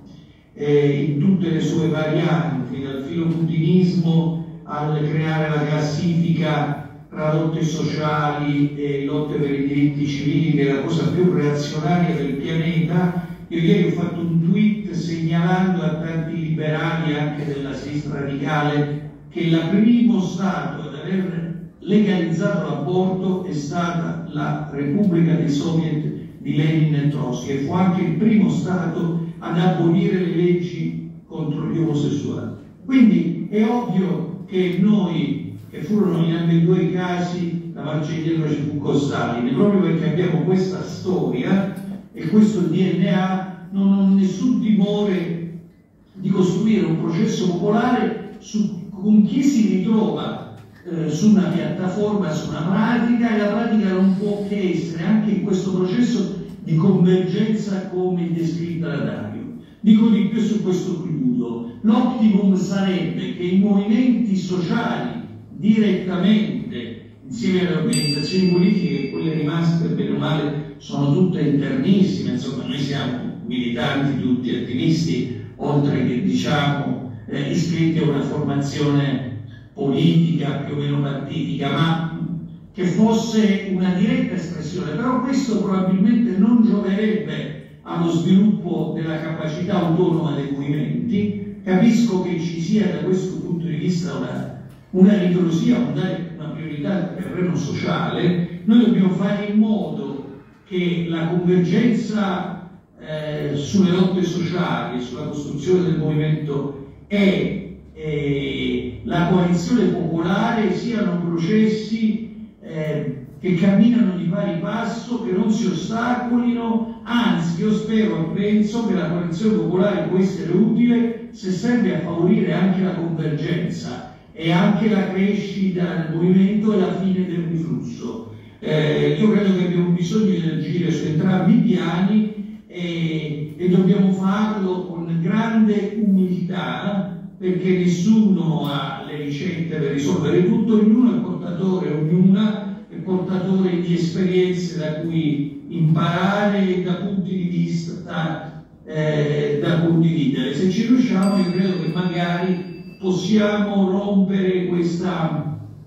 maledizione della sconfitta che ci perseguita. Io sono molto al trionfalismo eh, rivoluzionario perché quando si è in minoranza bisogna avere coscienza dei rapporti di forza, però penso anche che eh, le sconfitte ripetute eh, inaridiscono, indeboliscono, rinsecchiscono, fanno passare la voglia anche di lottare. Quindi qualsiasi vittoria sul piano delle lotte sociali o anche di una presentazione elettorale invoglia il giorno dopo più gente, più persone, più proletari, eh, più cittadini e cittadine a riscoprire l'azione collettiva su tutti i piani. Quindi cerchiamo di lavorarci con lo spirito che mi pare, su cui oggi mi pare di aver registrato una forte eh, convergenza. Quindi ovviamente il 9 eh, è bene ed è ovvio un appuntamento che non riguarda solo noi, ma è ovviamente un appuntamento che riguarda anche le compagne di sinistra anticapitalista e tutte le compagne e compagni eh, che in Italia in questi anni hanno condiviso percorsi di lotta e di alternativa. Grazie. Grazie allora, eh, concludiamo questo, questo giro di tavola rotonda. Grazie Simone. Concludiamo questo giro di tavola rotonda con eh, eh, eh, con Dario Salvetti, non tanto perché gli affidiamo le conclusioni, eh, ma quanto perché eh, noi vorremmo capire da lui quali sono stati eh, i rapporti tra la politica, tra i compagni che sono arrivati a- alla GKN, eh, sono arrivati ai cancelli eh, insieme a voi e il collettivo, il resto di lavoratori e lavoratrici. Più volte in questi mesi abbiamo letto i post, abbiamo sentito le assemblee e voi di GKN ci avete sempre dire, proposto una eh, versione inedita del rapporto tra lotte, vertenze e, eh, e loro ricadute politiche. Quindi non vogliamo tanto una ricetta, quanto vorremmo come dire, degli elementi di riflessione da questo punto di vista, su questo anno vissuto fianco a fianco con altri militanti, ma mai nelle forme come dire, tradizionali, eh, l'ultima che è stata citata spesso in cui negli interventi, per esempio quella del coordinamento delle vertenze di cui abbiamo parlato questa mattina. No, non sono assolutamente delle, delle repliche, anche perché in parte, almeno come collettivo di fabbrica, facciamo chiaramente fatica a calarci in questo, in questo dibattito. Il 9 luglio per noi è anche, sarà anche un anniversario, un anno di assemblea permanente, perché la chiusura della campagna avveniva il 9 luglio, tra l'altro chi passasse da Firenze saremmo lì dalle 18 con una sorta di mh, concertone che non è una festa ma è un urlo liberatorio perché da festeggiare non c'è molto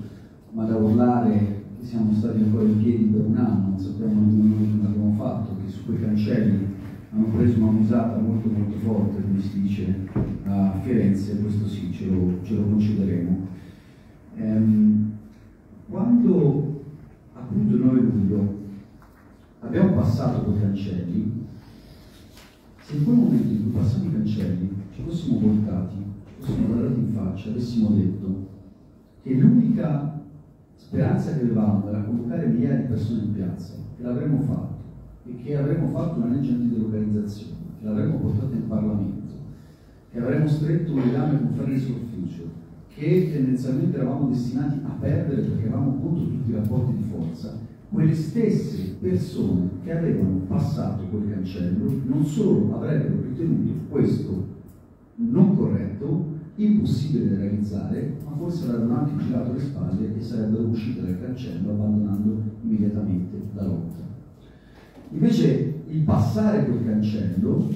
determina un rapporto di forza che tu in quel caso crei con il tuo corpo, un atto radicale, radicale nei fatti, e sulla base di quel rapporto di forza si innesta un meccanismo dialettico per cui le idee che il giorno prima nemmeno sembravano possibili, ti sembrano poi possibili, probabili e addirittura auspicabili, le uniche necessarie. Tant'è che poi quelle stesse persone che sfondano quel cancello per il proprio posto di lavoro, mi sono sentito dire in questi mesi frasi del tipo per me sia importante il posto di lavoro, ma è ancora più importante che noi con la legge antidelocalizzazioni apriamo un, un precedente per tutto il paese. O mi sono sentito addirittura dire, pensate, se, se qualcuno l'avesse detto quella mattina mentre sfondavamo il cancello, il licenziamento è una delle cose più belle che mi è capitata nella vita, perché mi ha, mi ha tolto un posto di lavoro ma mi ha aperto un mondo, mi ha dato un'esperienza di cui io devo ringraziare la multinazionale, perché mi ha permesso di prendere il destino nelle mie mani. Faccio questo esempio per dire che esiste uno sviluppo dialettico delle idee e se tu vai a precipitare certe idee certi meccanismi, prima che questi meccanismi abbiano effettivamente un, un- un elemento di accumulazione, tu di fatto tagli da via questa accumulazione, trasformi anche un'idea potenzialmente corretta in qualcosa che è scorretto in quel momento non lo si verrà. E io credo che il dibattito sulla questione elettorale rischi di essere questo, rischi di essere questo. Noi mh, non abbiamo né per tradizione umana, politica, storica, nessun pregiudizio anti-elettorale, antipartito, antipartitico, antipolitico sarebbe da parte nostra ipocrita e stupido perché la nostra storia è tutt'altra.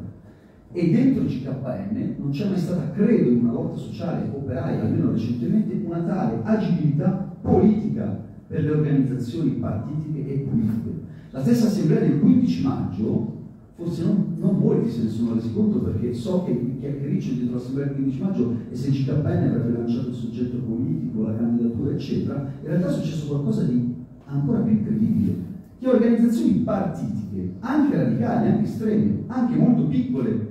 hanno parlato nella stessa assemblea a fianco del comitato contro la geotermia del Montagnata, in maniera assolutamente legittima, o che eh, eh, come dire, soggetti che si occupano prettamente di diritti civili o vertenze singole, vertenze sindacali, sono state dentro la stessa assemblea con organizzazioni politiche e partitiche. È successo qualcosa di più. Non abbiamo lanciato il soggetto politico, abbiamo aumentato la soggettività politica reale dei soggetti sociali vivi, che è quello di cui tutte e tutti noi abbiamo bisogno perché un domani possa anche esistere un progetto elettorale che non sia ultraminoritario e si misuri tra l'1,5 e il 2% della propria esistenza. Dopodiché questo ragionamento io lo faccio stimolato dal dibattito perché noi oggi come collettivo di fabbrica siamo ossessionati in maniera compulsiva più che sulla primavera, sull'autunno. Ed è vero che non ci dobbiamo dire che l'autunno sarà caldo in maniera, come dire, eh, facilona o auspicabile, dobbiamo dirci qualcosa di più. Dobbiamo dirci qualcosa di più.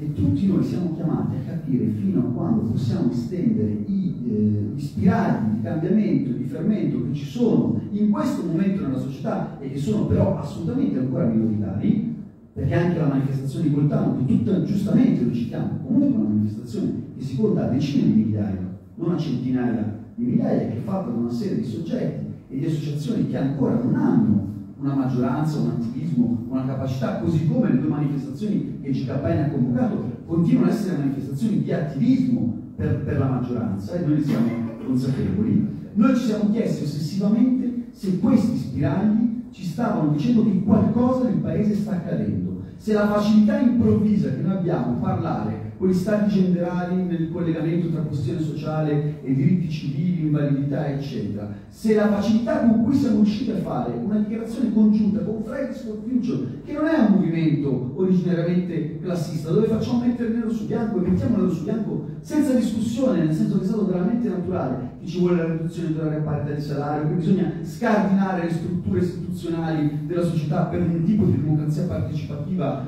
di, di, tipo diverso rispetto a quella che esiste, esiste attualmente, se questo non sia indice che qualcosa sta accadendo. E se noi non coltiviamo questo qualcosa che sta accadendo, questo qualcosa domani non avrà nemmeno la possibilità di chiedersi se vuole praticare il terreno elettorale. Io invertirei completamente l'ordine dei fattori, perché se questa mobilitazione, questo fermento esiste nella società e lo coltiviamo, e passa dall'autunno attraverso una serie di passaggi fondamentali che non siano né prematuri né eccessivamente lenti, allora domani la discussione se questo qualcosa può e deve anche praticare il terreno elettorale, forse non la faccio semplicemente tra, tra noi che siamo qua presenti, ma la faccio con soggetti che oggi non si pongono non solo il terreno elettorale, ma nemmeno il terreno politico. Perché appunto non sono mai stato antielettoralista, ma la scissione che c'è stata in questo paese tra militanza sociale, sindacale, politica, partitica e elettorale non è stata mica soltanto il risultato di qualche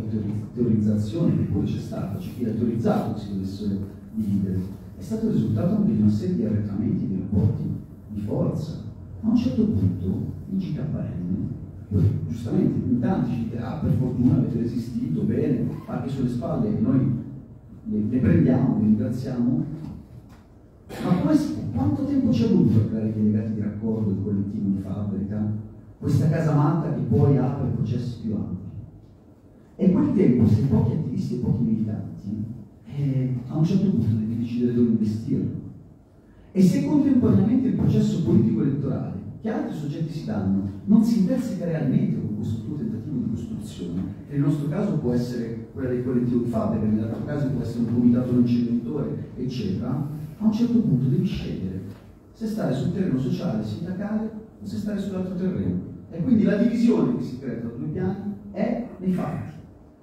io eh, non ho una visione antielettoristica, ma non ho nemmeno una visione gioiosa delle sempre quello nemmeno dei congressi, come il congresso della CGL ci apprestiamo a fare. Perché tutto ciò che è voto, tutto ciò che è eh, come dire, fotografia elettorale dell'esistente è una fotografia elettorale statica, mentre lotte sono processi dinamici, dove improvvisamente 300 lavoratori che resistono da un anno in assemblea permanente sono uguali a 300 voti in un qualsiasi dire, gruppo di potere che ha un po' di amici e magari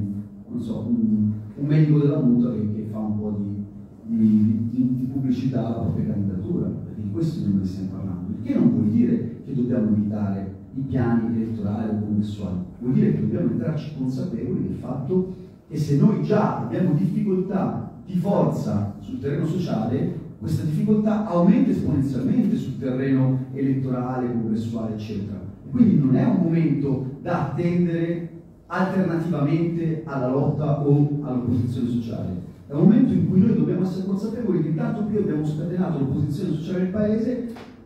tanto più reggeremo magari sull'altro terreno, sapendo che comunque sarà un terreno ancora estremamente complicato proprio per la sua, per la sua natura. Quindi, se la, se la domanda è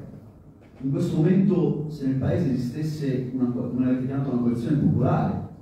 con numeri importanti, discreti, con, con la possibilità di, un gruppo parlamentare saremmo un passo in avanti, io non posso rispondere sì, ma ci mancherebbe, anche con tutte le sue contraddizioni, perché almeno aprirebbe un dibattito.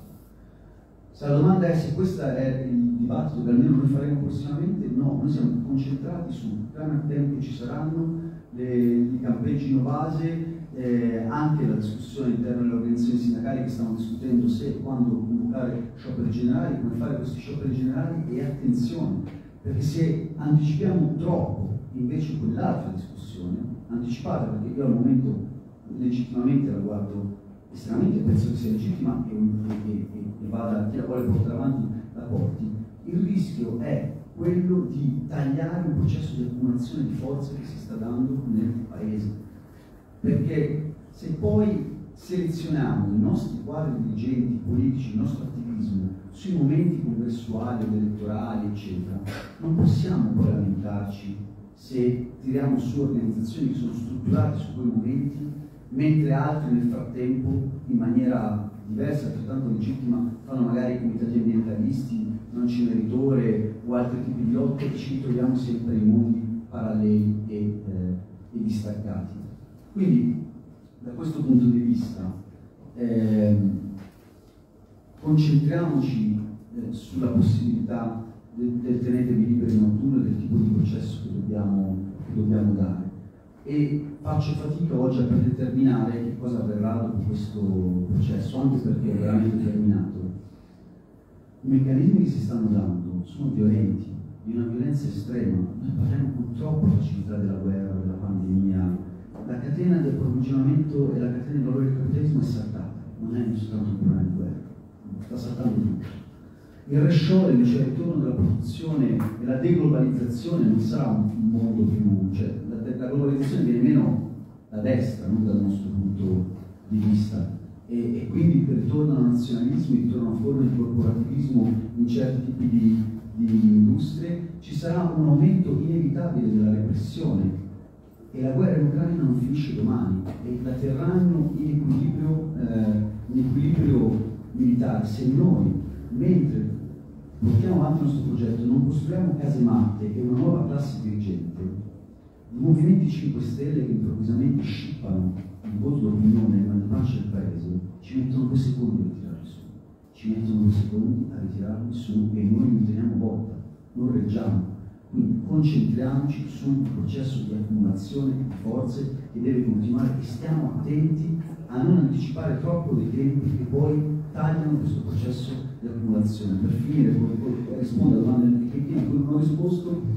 quando lui ci ha chiesto in un'intervista ma voi slanciate il coordinamento, ho detto più che discutere che tipo di coordinamento darsi, discutiamo che cosa vogliamo coordinare, cioè se i gruppi di convergenza si stanno dando sul territorio o no e quanti sono, quanti sono i punti di insorgenza, quanti sono i punti di, forza da cui noi dobbiamo ripartire. Ne abbiamo citato alcuni, Coltano, il rigassificatore, eh, della CKM, per me lo sono anche i compagni del, del, del CAP ad esempio, e un domani altre manifestazioni antimilitariste. Facciamo questa mappatura, partiamo da questi rapporti di forza, costruiamoli attorno alla convergenza, costruiamoli attorno l'autunno, un nuovo immaginario collettivo. E poi questo legittimamente qualcuno domani possa anche discutere, tradurre un progetto elettorale ad oggi non mi riguarda, non lo demonizzo eh, e mai lo demonizzerò perché non è questa mai stata la mia posizione, ma, ma, ma stiamo sul punto secondo me, questa è almeno la riflessione che noi stiamo facendo.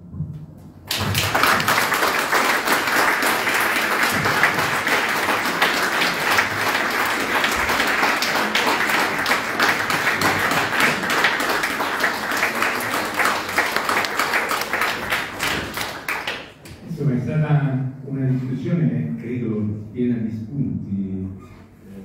spunti che poi ciascuno di noi collettivamente continuerà a, continuerà a, farne base per, per riflessioni. Eh, io vorrei ringraziare ma soprattutto vorrei dire che sono stato contentissimo di eh, aver partecipato a un dibattito così eh, articolato, che non credo abbia bisogno in questo momento di conclusioni, tanto più non vorrei essere io a tirare delle, delle conclusioni. Noi domani abbiamo eh, un altro appuntamento eh, importante per chi sarà questo convegno. Questa sera ci sono anche eh, due riunioni, quella del gruppo comunicazione e quella dei responsabili organizzativi dei circoli dopo, eh, dopo cena.